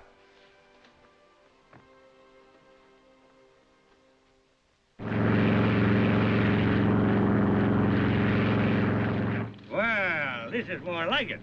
These telegrams aren't just from people. You see what that speech did? Boy, happy days are here again. Hey, Brock from Missouri and Tenenbaum from Colorado. Yeah, those birds don't send telegrams unless they're fishing for bids. I thought they were Dewey men. Not now, they're not. Hey, look at this. Ed Louderback wants to talk turkey. It puts the farm bloc on our team. 30 delegates if it means one. Look here, Mary. Two state and seven county chairmen. Not just from people. Now, look, Mary, I don't want to hear any more about that speech last night. These telegrams prove that Jim is right. He knows what he's doing. He's a professional. And I don't want to hear that Henry Clay routine either. He wound up being neither right nor president. Emil, the waiter, was listening in. I can imagine the look on his face. Mary. Mary, you should have faith in me. I want to be president. I know this country. I know it inside out. I know all of its simmering hates. I know the petty warfare undermining our unity, and I think I know what causes it. It's fear. It's nothing but fear. Fear of the future, fear of the world, fear of communism, fear of going broke. Why didn't you make that speech last night? Because I want the nomination. If I have to soft soap a few idiots like Sam Parrish to get it, I'll soft soap them. After I'm elected, if you think I'm going off the deep end, come and tell me. I'll listen to you. But until then, lay off. There's not going to be any then. Up until last night, you had something to say. You had courage. You had a chance. The people were for you. But not anymore. You've changed, and they'll know it. I haven't changed. Hey, boss, we got company again.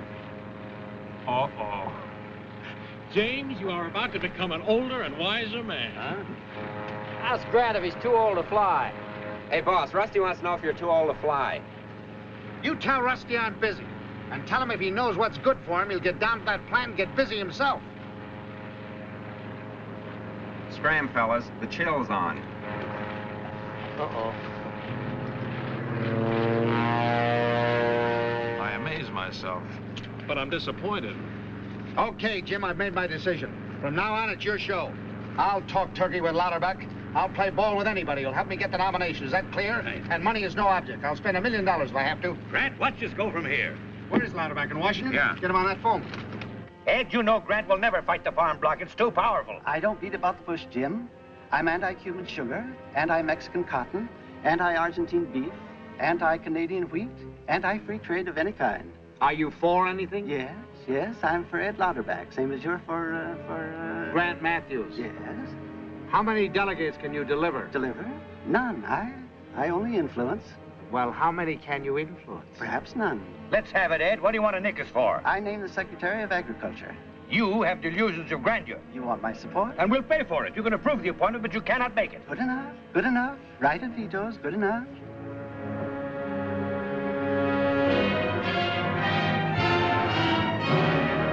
Have you talked to Bill Green, Phil Murray, or John L. Lewis? Oh, we're talking to you now. Which isn't easy because I don't like you, Bill Hardy. That's mutual. Oh, now who cares who likes who? How many men in your union? 700,000 in my local, scattered over four states, pivotal states. And they vote in the primaries. Can you work out a deal with Jim? I can always make a deal with Jim. We'll work it out. Can you deliver delegates from the foreign-born sections? Let me handle things and I can.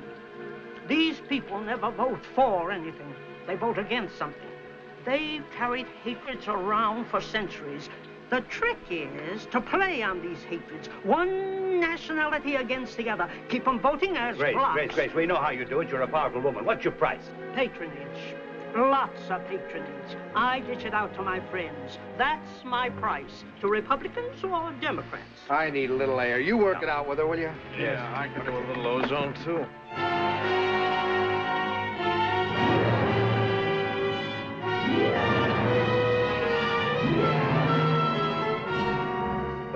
Those are the posters, and these are the ads for the broadcast. They'll be in 30 newspapers. It'll be the biggest send-off any candidate ever had. Radio, television, newsreels, the press, the works. No use having big dough, not spending it. Excellent idea. Doing it all from his own home. A fireside chat from the next president. To say nothing of the next president's wife and kids, no one will top us for corn. Where does this Thorndyke dame fit in the picture? What do you mean by that? Now, let's not start kidding each other. There's a rumor around. Ridiculous. An old wives' tale. What rumor? Kay Thorndyke and Matthews. I've heard it twice. Bill Hardy, I'm surprised at you spreading a foul story like that. I'm spreading nothing.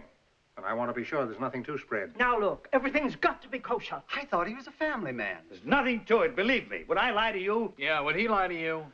Don't make me answer that question.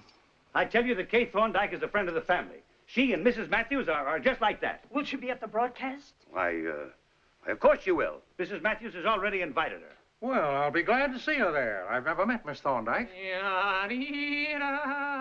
Come on, let's get back to this campaign. I got some work to do here.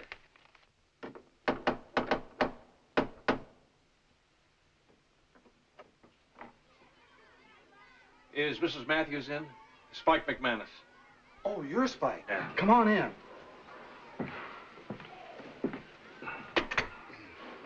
Uh, Buck Swenson. I'm the butler around here. Excuse my appearance. This happens every Saturday. The kids and their packages for Europe. Oh, you're quite a heavy contributor, I see, huh? Yeah, uh, so you better hang on to this if you don't want some Belgian farmer wearing it. I'll call Miss Matthews. I was just going upstairs to get my swimming trunks on. Let the kids sweat my pants later on. Hi. Hi, what's going on out there? Operation Breadbasket, they call it. Oh, well, while you're busy feeding the world, would there be a loose cup of coffee for me around here? You know, I've been up for three nights running working on that broadcast. And you look as though you could stand something stronger. Lady, you twisted my arm. Say, who was that character out there? Let me in. Buck? Oh, he's the world's worst butler and the world's nicest guy. He was Grant's first grease monkey. Grant used to try to fire him, but he gave that up years ago. Speaking of characters, how's Mr. Conover and company? Oh, just straight, please. Mm-hmm. Oh, he's busy making friends and influencing delegates. And I might add, delivering some. I don't believe that. You can't deliver the votes of a free people. Mary, in Conover's eyes, lazy people and ignorant people and prejudiced people are not free. Spike, are all politicians like Conover? Oh. Thank heavens. He almost makes me a Democrat. Oh, that wouldn't help you any. The Democrats have their Conovers, too, in spades. Well, here's to us wise guys with all the answers. All right, wise guy, give me one answer. What changed Grant in Detroit? Detroit, Detroit. Oh, that's so many hotel rooms. Spike, please. What made Grant change that speech at the last minute? Oh, Mary, wouldn't you rather hear how someday I'm going to buy a country newspaper and yell my head off? Oh, You know, the 95% of the newspapers are in small towns. Yeah. That's America, Yeah. lady. That's where the real freedom of the press is. That's the All kind right, of thing Spike. I like to... What really made you leave the tobacco smoke this fine, sunny day? Mary, a crisis hath arisen. A crisis. That's good. What about? The big broadcast. Oh. There's a story going around Republican headquarters and around Democratic headquarters about you getting plastered one night and throwing Kay Thorndyke out of your house. Yeah. If it isn't nipped in the bud, Grant's political goose might be cooked. Well, that's a true story. What am I supposed to do about it? It isn't true, and the only way you can prove it is to invite Kay here to the broadcast.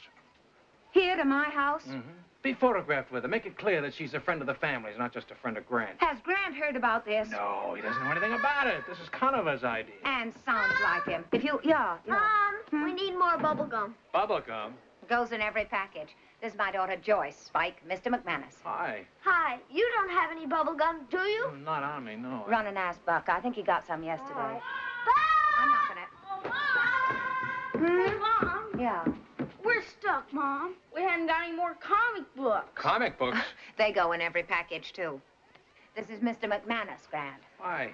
You haven't got any comic books, have you? Well, of course he hasn't. He's a very distinguished newspaper man. Oh, I don't know. I have my hidden vices. Oh, boy, I haven't read this one. Okay, Scram. They're pretty swell kids. Yeah, they're pretty swell kids. You can tell Conover no.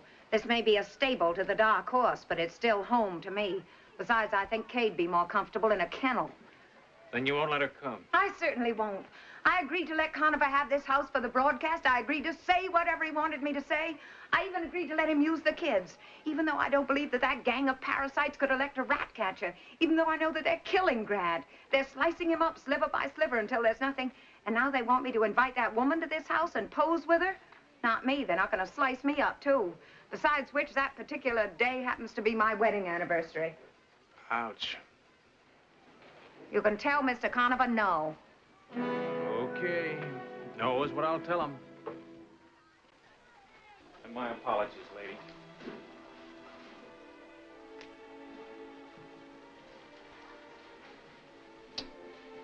I only do that to people I like very much.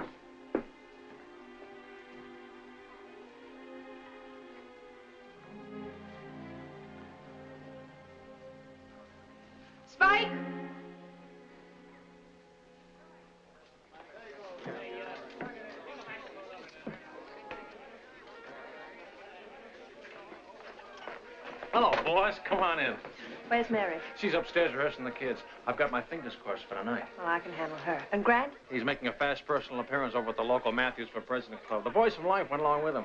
Come on in. I want to show you something. He'll be right back. Well, how do you like it? Radio, 200 stations coast to coast. Television, two cameras, complete coverage for the whole Eastern Seaboard. The Four Blue Notes Quartet, they give out with Grant's campaign song. The club band, and the local yokels, all the trimmings, including the press. Wonderful. Really wonderful. Well, I could have gotten a bigger turnout for somebody who didn't want to be president. Oh, Blink, what about the Matthews speech? Did you check at the time? I think there's been some changes made. Everybody in there has made at least three changes already. Hasn't this Matthews any mind of his own? Blink Moran, the network producer, Miss Thorndyke. How do you do? Is anything wrong? Oh, don't mind Blink. He's got ulcers. You try listening to politicians night after night, and you'll have ulcers too. Mr. Matthews is no politician. I've read this lady. He is, for my dough. In the library, I think we can be among friends. Coca-Cola.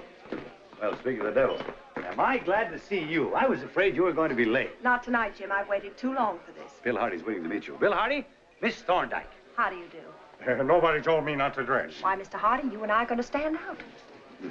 Grace, it was sheer wizardry, the angle you used on those Boston Irish. And you, Martini for her. got those Very fine dry. Does Mary know she's here? She invited her. Have you ever been in a hurricane? No. You will be. Double whammy on her. And Mr. Hardy, with you on our team, nobody can accuse us of being Wall Street, can they? No. Oh, Buck, the judge and Mrs. Alexander are coming here tonight. Do you know how to mix a Sazerac? Sazerac? Yeah. Oh, it's, it's a asp, uh, absinthe and Yeah, it's a form of suicide, but don't sample one because it'll light up to your vest buttons. That's all she drinks and drinks. The judge takes straight bourbon. Oh, Spike, don't think I'm forgetting your contribution to this great moment. Secretary of the Treasury, that's all I ask. Nobody's going to get sore about this Matthews speech. It's for everything except sin. He must be bow-legged from straddling. A couple months ago, he made some good speeches. What's happened to him? I don't know. Fight! Here he is now. Fight! Fight! Later, boys. We'll get that later. Hello, boss. Yeah, is everything all right? Fine. Biggest thing since VJ Day. Oh, Frank, did you get the speech timed? The time's all right. What kind of a crack is that? That's a joke, son. Come on. What's the matter? Got that before the big game? No, no, no, I'm all right. I just want to be sure there's no slip-up to them. How was the audience? They were cold. I couldn't warm them up. Well, you know a man's never a hero. Yeah, I know, in his own hometown. Is everybody here? Yeah, they're in the library. Oh, Sam Parrish phone. He's on his way. And the judge and Lulu Bell are due any minute. You know, they like to wait till they're sure the bar is open. Yeah, I'll be right down. Hi, Dad. Want to hear our radio speech? Mom just heard it with this lesson. What's the idea of this getup? Our band. It's on the show. Whose idea was that? Yours, Grant. Oh, oh, hello, Mary. Oh, well, well, now, now you keep out from underfoot tonight. Don't be getting in people's hair. Uh, Mary, Mary, I, I want you to know I realize this is not going to be too easy for you, and you're nice to do it for me, and I appreciate it. Nonsense, Grant. I hope it's everything you want it to be. Oh, oh, oh! I almost forgot. These are for tonight.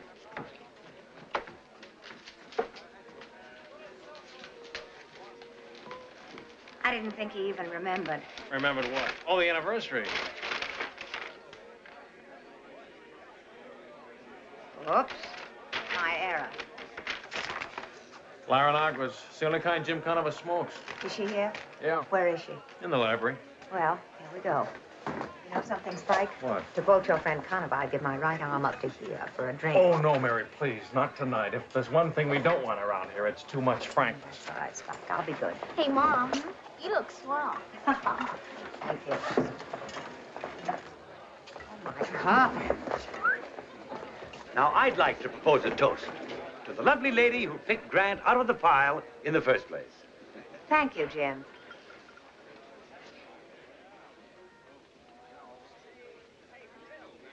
Hello, Mary. It's nice of you to ask me. Hello, Kay. You're just in time for a cocktail. Thank you. You're, looking, very pretty tonight. Mary's going to be the best looking first lady we've ever had. Oh, well, let's get a nice picture of that, shall we? I'm sorry I wasn't here to welcome you. Face this This way, is the first broadcast And, uh, that my children Big smile. That's my Shoot it. Ah, that's good. broadcast that my children have ever been on. They're very excited. Mary, Bill Hardy? Oh, Mr. Hardy, the labor man. How do you do? Uh, nobody told me not to dress. Well, I'm glad you did dress. I think men are much too lazy today about dressing. Ed Lauterbach? The farm expert. How do you do? Your husband talks well, but you're prettier. Thank you very Mrs. much. Draper, Mrs. Matthews?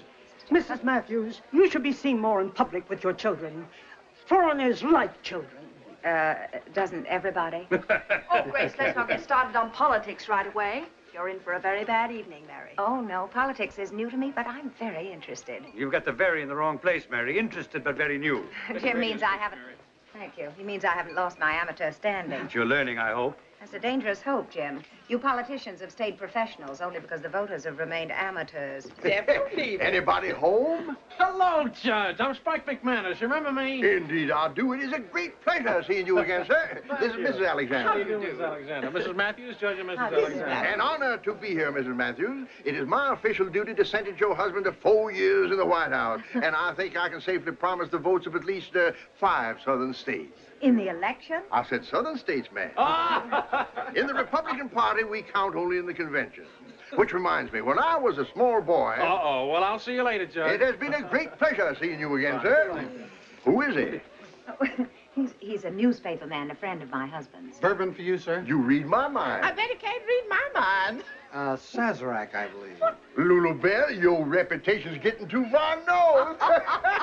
Do you know how to make a Sazerac? Buck? I think so. Well, if he only thinks so, Jeff, you'd better make that Sazerac. yes, indeed, Sugar Pie. That's right, John. I'm especially glad that you were able to come tonight, Mrs. Alexander. Won't everyone sit down and enjoy themselves? I'm afraid we women are going to be outnumbered. When I go out with the judge's Republican friends, I'm always outnumbered. I make it a point to tell my hostess right off that while Jeff's a Republican, I'm a Democrat it. But you can speak freely.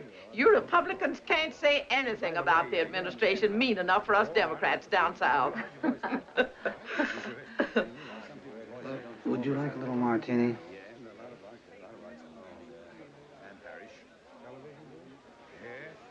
Mm-mm. Just an idea. Well, hello, Grant. Where Hello. have you been? Hello, everybody. Hello, I'm sorry I'm late. You've been rehearsing your speeches? Hello, Bill. Nobody told me not to dress. On you, it looks good. Well, Judge. Grant! You're not going to drink that thing, are you? You're, you're in the program, you know. Mary, you should know Grant, better this is. Mrs. Alexander. Oh, Mr. Mrs. Matthews, Alexander. Handsome, isn't he? You're the first good reason I've ever seen for voting Republican. I told your wife I was a Democrat. I understand they're a necessary evil. Well, you know us Southerners. We vote Democratic down home, but we've got an awfully good Republican record in Congress. One minute to go. Is Sam Parrish here yet? No. Well, why isn't he? What's the matter? Can't you do your job? Something's got to be said about this house tonight, Grant. Now you take Richmond. Do I have to take it again? oh, Jam! Yeah? This is the best Sazerac I ever had in my life. Fix me another one, honey, right All right, away. all right, everybody. Oh, hello, Kay. Ready to Uh, go? Huh? Destination White House? Yeah, well, we can hope, can't we? How many people listening in tonight, Jim? Between 15 and 20 million. Is that all? Well, that's enough. Huh? Oh, stand by, everybody. 20 seconds. Free approach now. Good Mike. Come on, 20 seconds. 20 seconds. Oh, all right, everybody. Now, on your toes. Nothing must go wrong. Good luck, Grant. Thanks. thank you. Good luck, Grant.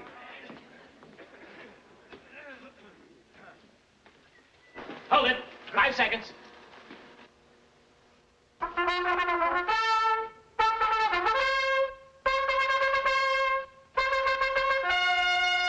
Ladies and gentlemen, we invite you to history.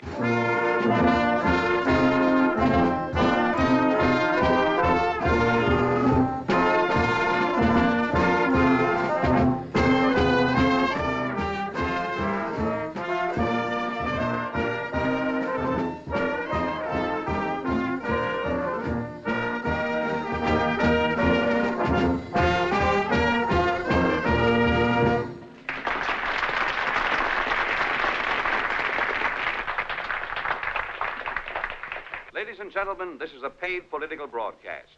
Paid for not by any political group or organization, but by thousands of public spirited citizens who have taken this method of ensuring that their voice, the voice of the people, shall be heard.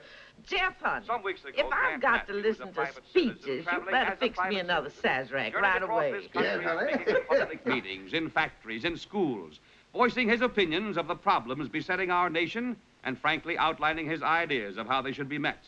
No politician, this, selling a bill of goods, no candidate for any office. Instead, a private citizen fulfilling what he saw as the duty of a citizen. The result, a stirring demonstration of democracy in action. All over the country, spontaneously, unsponsored, hundreds of Matthews for President clubs sprang up overnight. And tonight, in more than 400 American cities, men and women are gathered together in the American way in halls, tents, town squares, in their own homes. Where's to Grant demand- Matthews? Where's that next their president? the highest office in the land. Who are you? They have contributed their dimes and their dollars to pay for this telecast. This is their program. This is, in truth, the voice You of the bait. Where's your speech? Right here. Relax, fella. All you gotta worry about is the third term.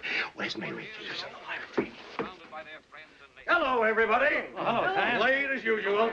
Mary. I could eat you with a spoon. Nobody told me not to dress. Well, isn't that what you're after, Bill? Put evening clothes on labor and let the rest of us go without. gosh, no, don't give me anything. I've been celebrating all the afternoon. Great gosh almighty, do we have to listen to Ann Louderback?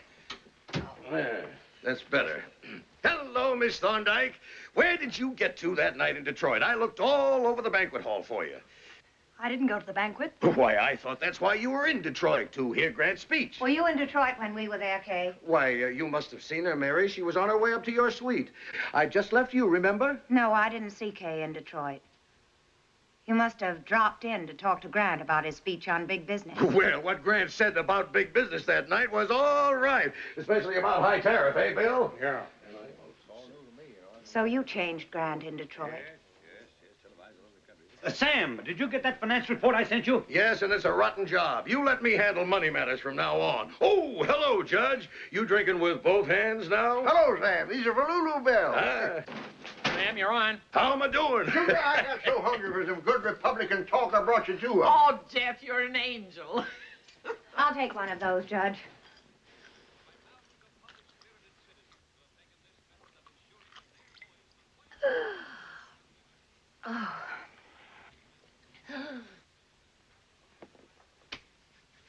Mary, what are you doing with that?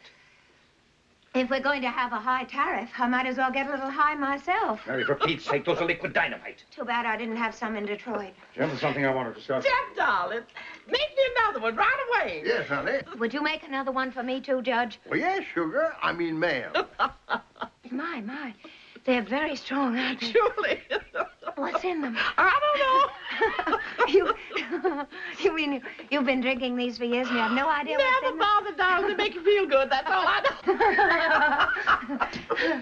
I do hope Mr. Matthews is including those paragraphs I gave him about the Italians. Their vote is so important. If you favor Italy, won't that lose you the Abyssinian vote?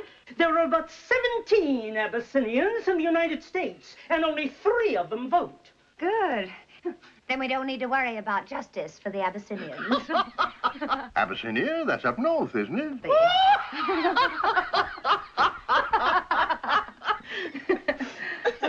Why?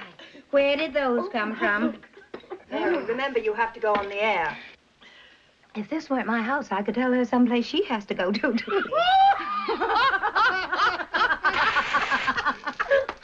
Of course, in this election, the Polish vote will be the most important. I thought the Poles voted in Poland. We are talking about Polish Americans. Can you be both? More power to you, honey. Thank you. They are full of it. For Grant Matthews has long known and loved the clean, rich smell of fresh turned earth. His hands have labored in the soil and helped it bear rich fruit. Grant Matthews, like another great Republican, Abraham Lincoln, is of the earth and of the people. He has not forgotten either. He knows that a prosperous and protective and productive agriculture is the All right, Mrs. Draper, here's your big moment. Ready? That's Ready? Rather, well, anyway, for president. Oh, Mary. Come on, you have to be ready to introduce Grant on the air. I'm different from Grant. I'd rather be tight than be president. Mary, you're on the spot. You have to be ready to do some very quick thinking. Spike, don't worry about me. I'm a very thick winker. Oh, brother. Honey, you got twisted up on that one. I did? Sure. I didn't. I didn't what did you I said thick queen. Well, I think I presented the farmer's case if I do say so. Oh, indeed. And who could speak for the farmer better than you, Mr. Lauterbach? Well, thank you, Mrs. Not Matthews. at all. Who else could make hay in the Capitol lobby?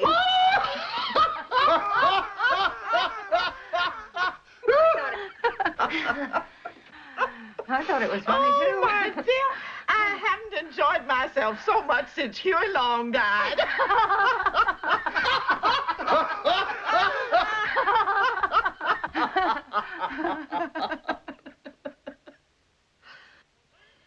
what? What's the matter, honey? Oh, Lulu Bell. What's the matter with me? I don't want to do any more.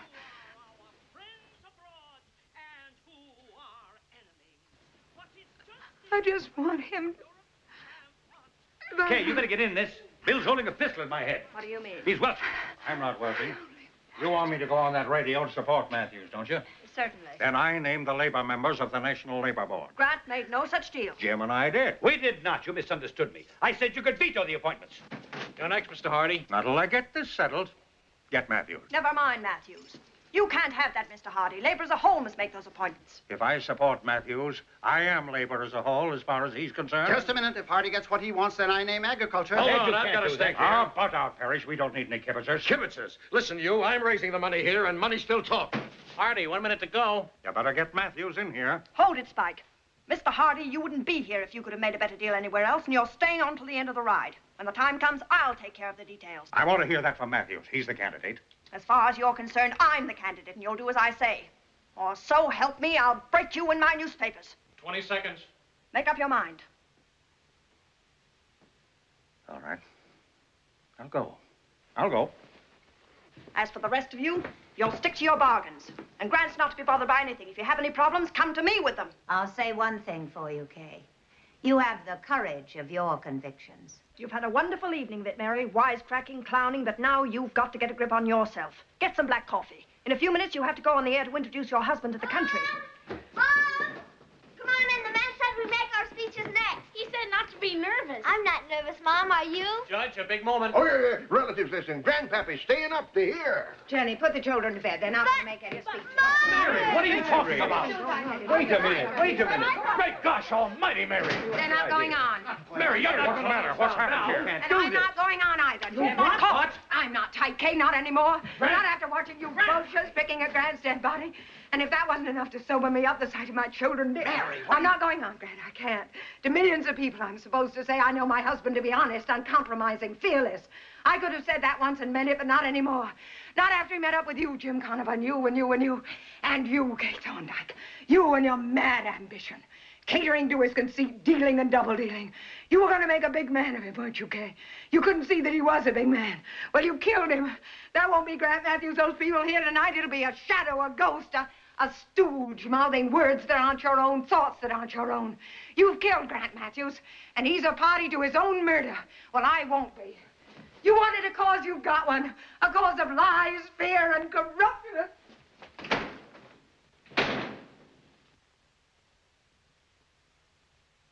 Hallelujah.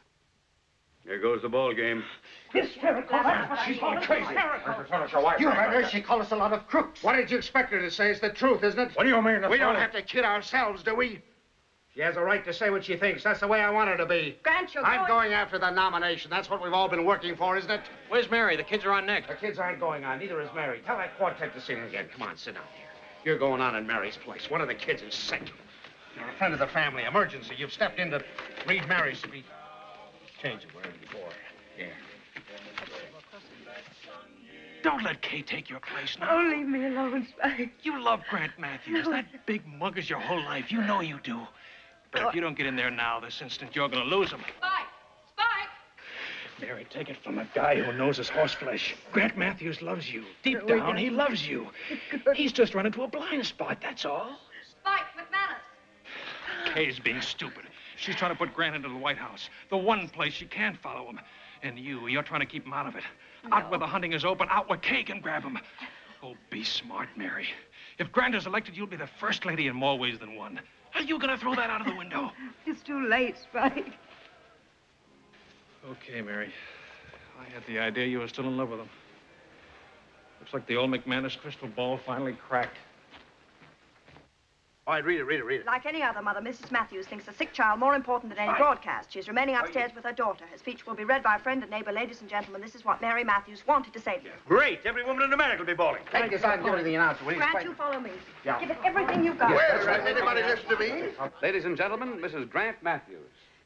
This is Mary Matthews. I'm prejudiced in my hus- husband's favor, naturally, though I know he has his faults. He likes the morning paper all to himself at breakfast, and a toothache becomes a world crisis. I guess he's pretty much like all husbands in that. She's marvelous, Grant. But all in all, he's quite a man, Grant Matthews. A good father and a good husband. But I see in him more than that. I see a man who is honest, uncompromising, fearless. A man of great vision and enormous courage. Above all, my Grant is a man, Mary, is a man stop who will it. speak Stop his it. mind. Stop it. What happened to you? What changed you? Ladies and I gentlemen, thought you were going to stay interrupting our honest. program. We will resume from Grant Matthews' home. Ladies and gentlemen, this is Grant Matthews. I'm sorry to interrupt, but I can't take any more of this. Don't you shut me off. I'm paying for this broadcast. Don't cut him off. Give him a chance. It'll cost me my job. Ladies and gentlemen, make radio history. What's that speech you just Keep heard rolling, Mrs. fellas. Matthews make, ahead, Mr. she doesn't Matthews. believe a word of it.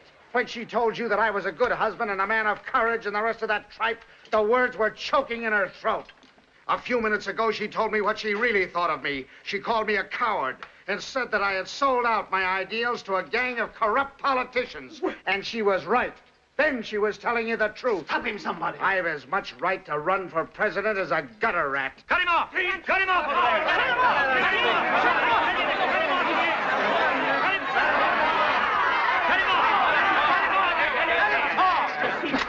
That squealing you hear, that's from the politicians.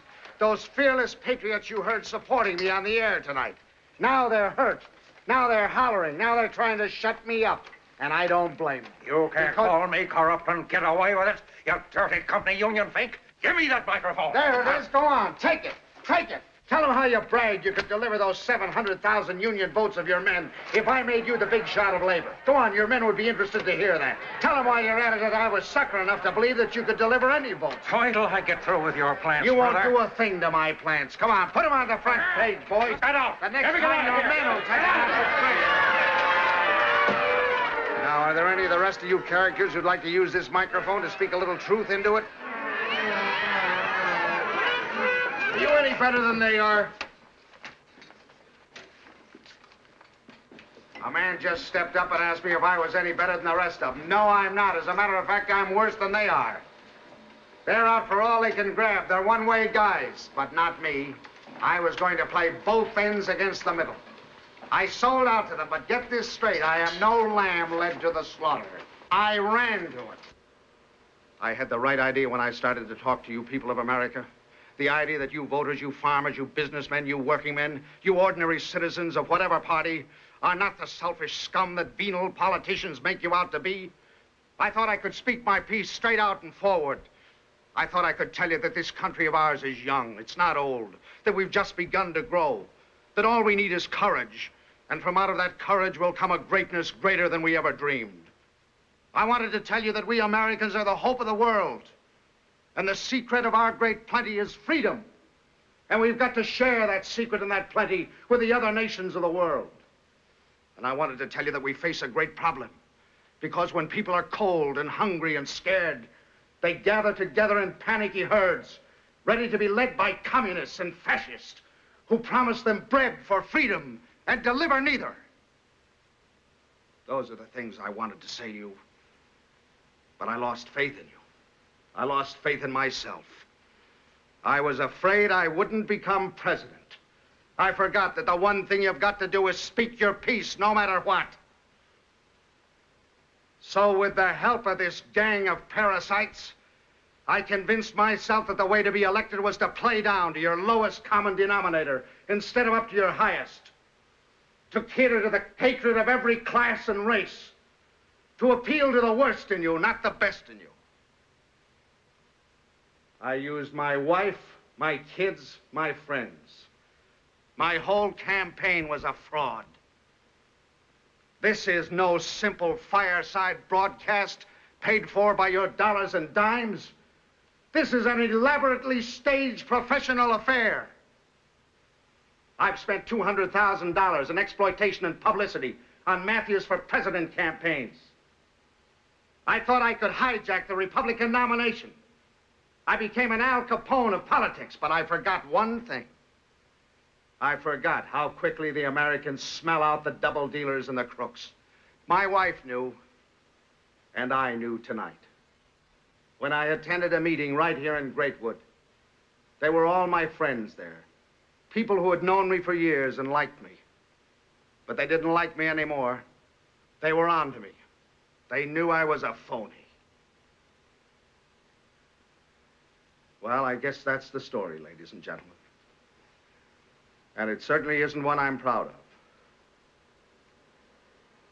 I'm the guy who screamed for a warrior's courage to face the simple private battles of everyday life.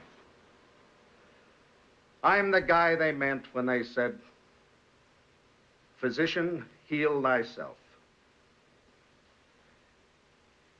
And so, here and now, I withdraw as a candidate for any office, not because I'm honest, but because I'm dishonest. I want to apologize to all the good, sincere people who put their faith in me. And I want to to apologize to my wife. Grant.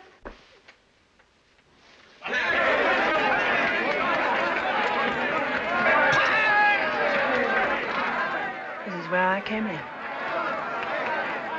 Not that job, Kay. Still win or lose? And I'll lose, Jim. I saw a man on the cover of Newsweek that I think you and I could. Mr. Matthews, Republican headquarters called. They want to know if this means that you're out of politics. No, I'm just getting into politics. I'm going to the Republican convention, and I'm going to the Democratic convention. I'm going to open doors, break down windows, let in fresh air. I'm going after every candidate who compromises, and I'm going after every lazy voter who doesn't vote. Take that gosh darn microphone. Maisie!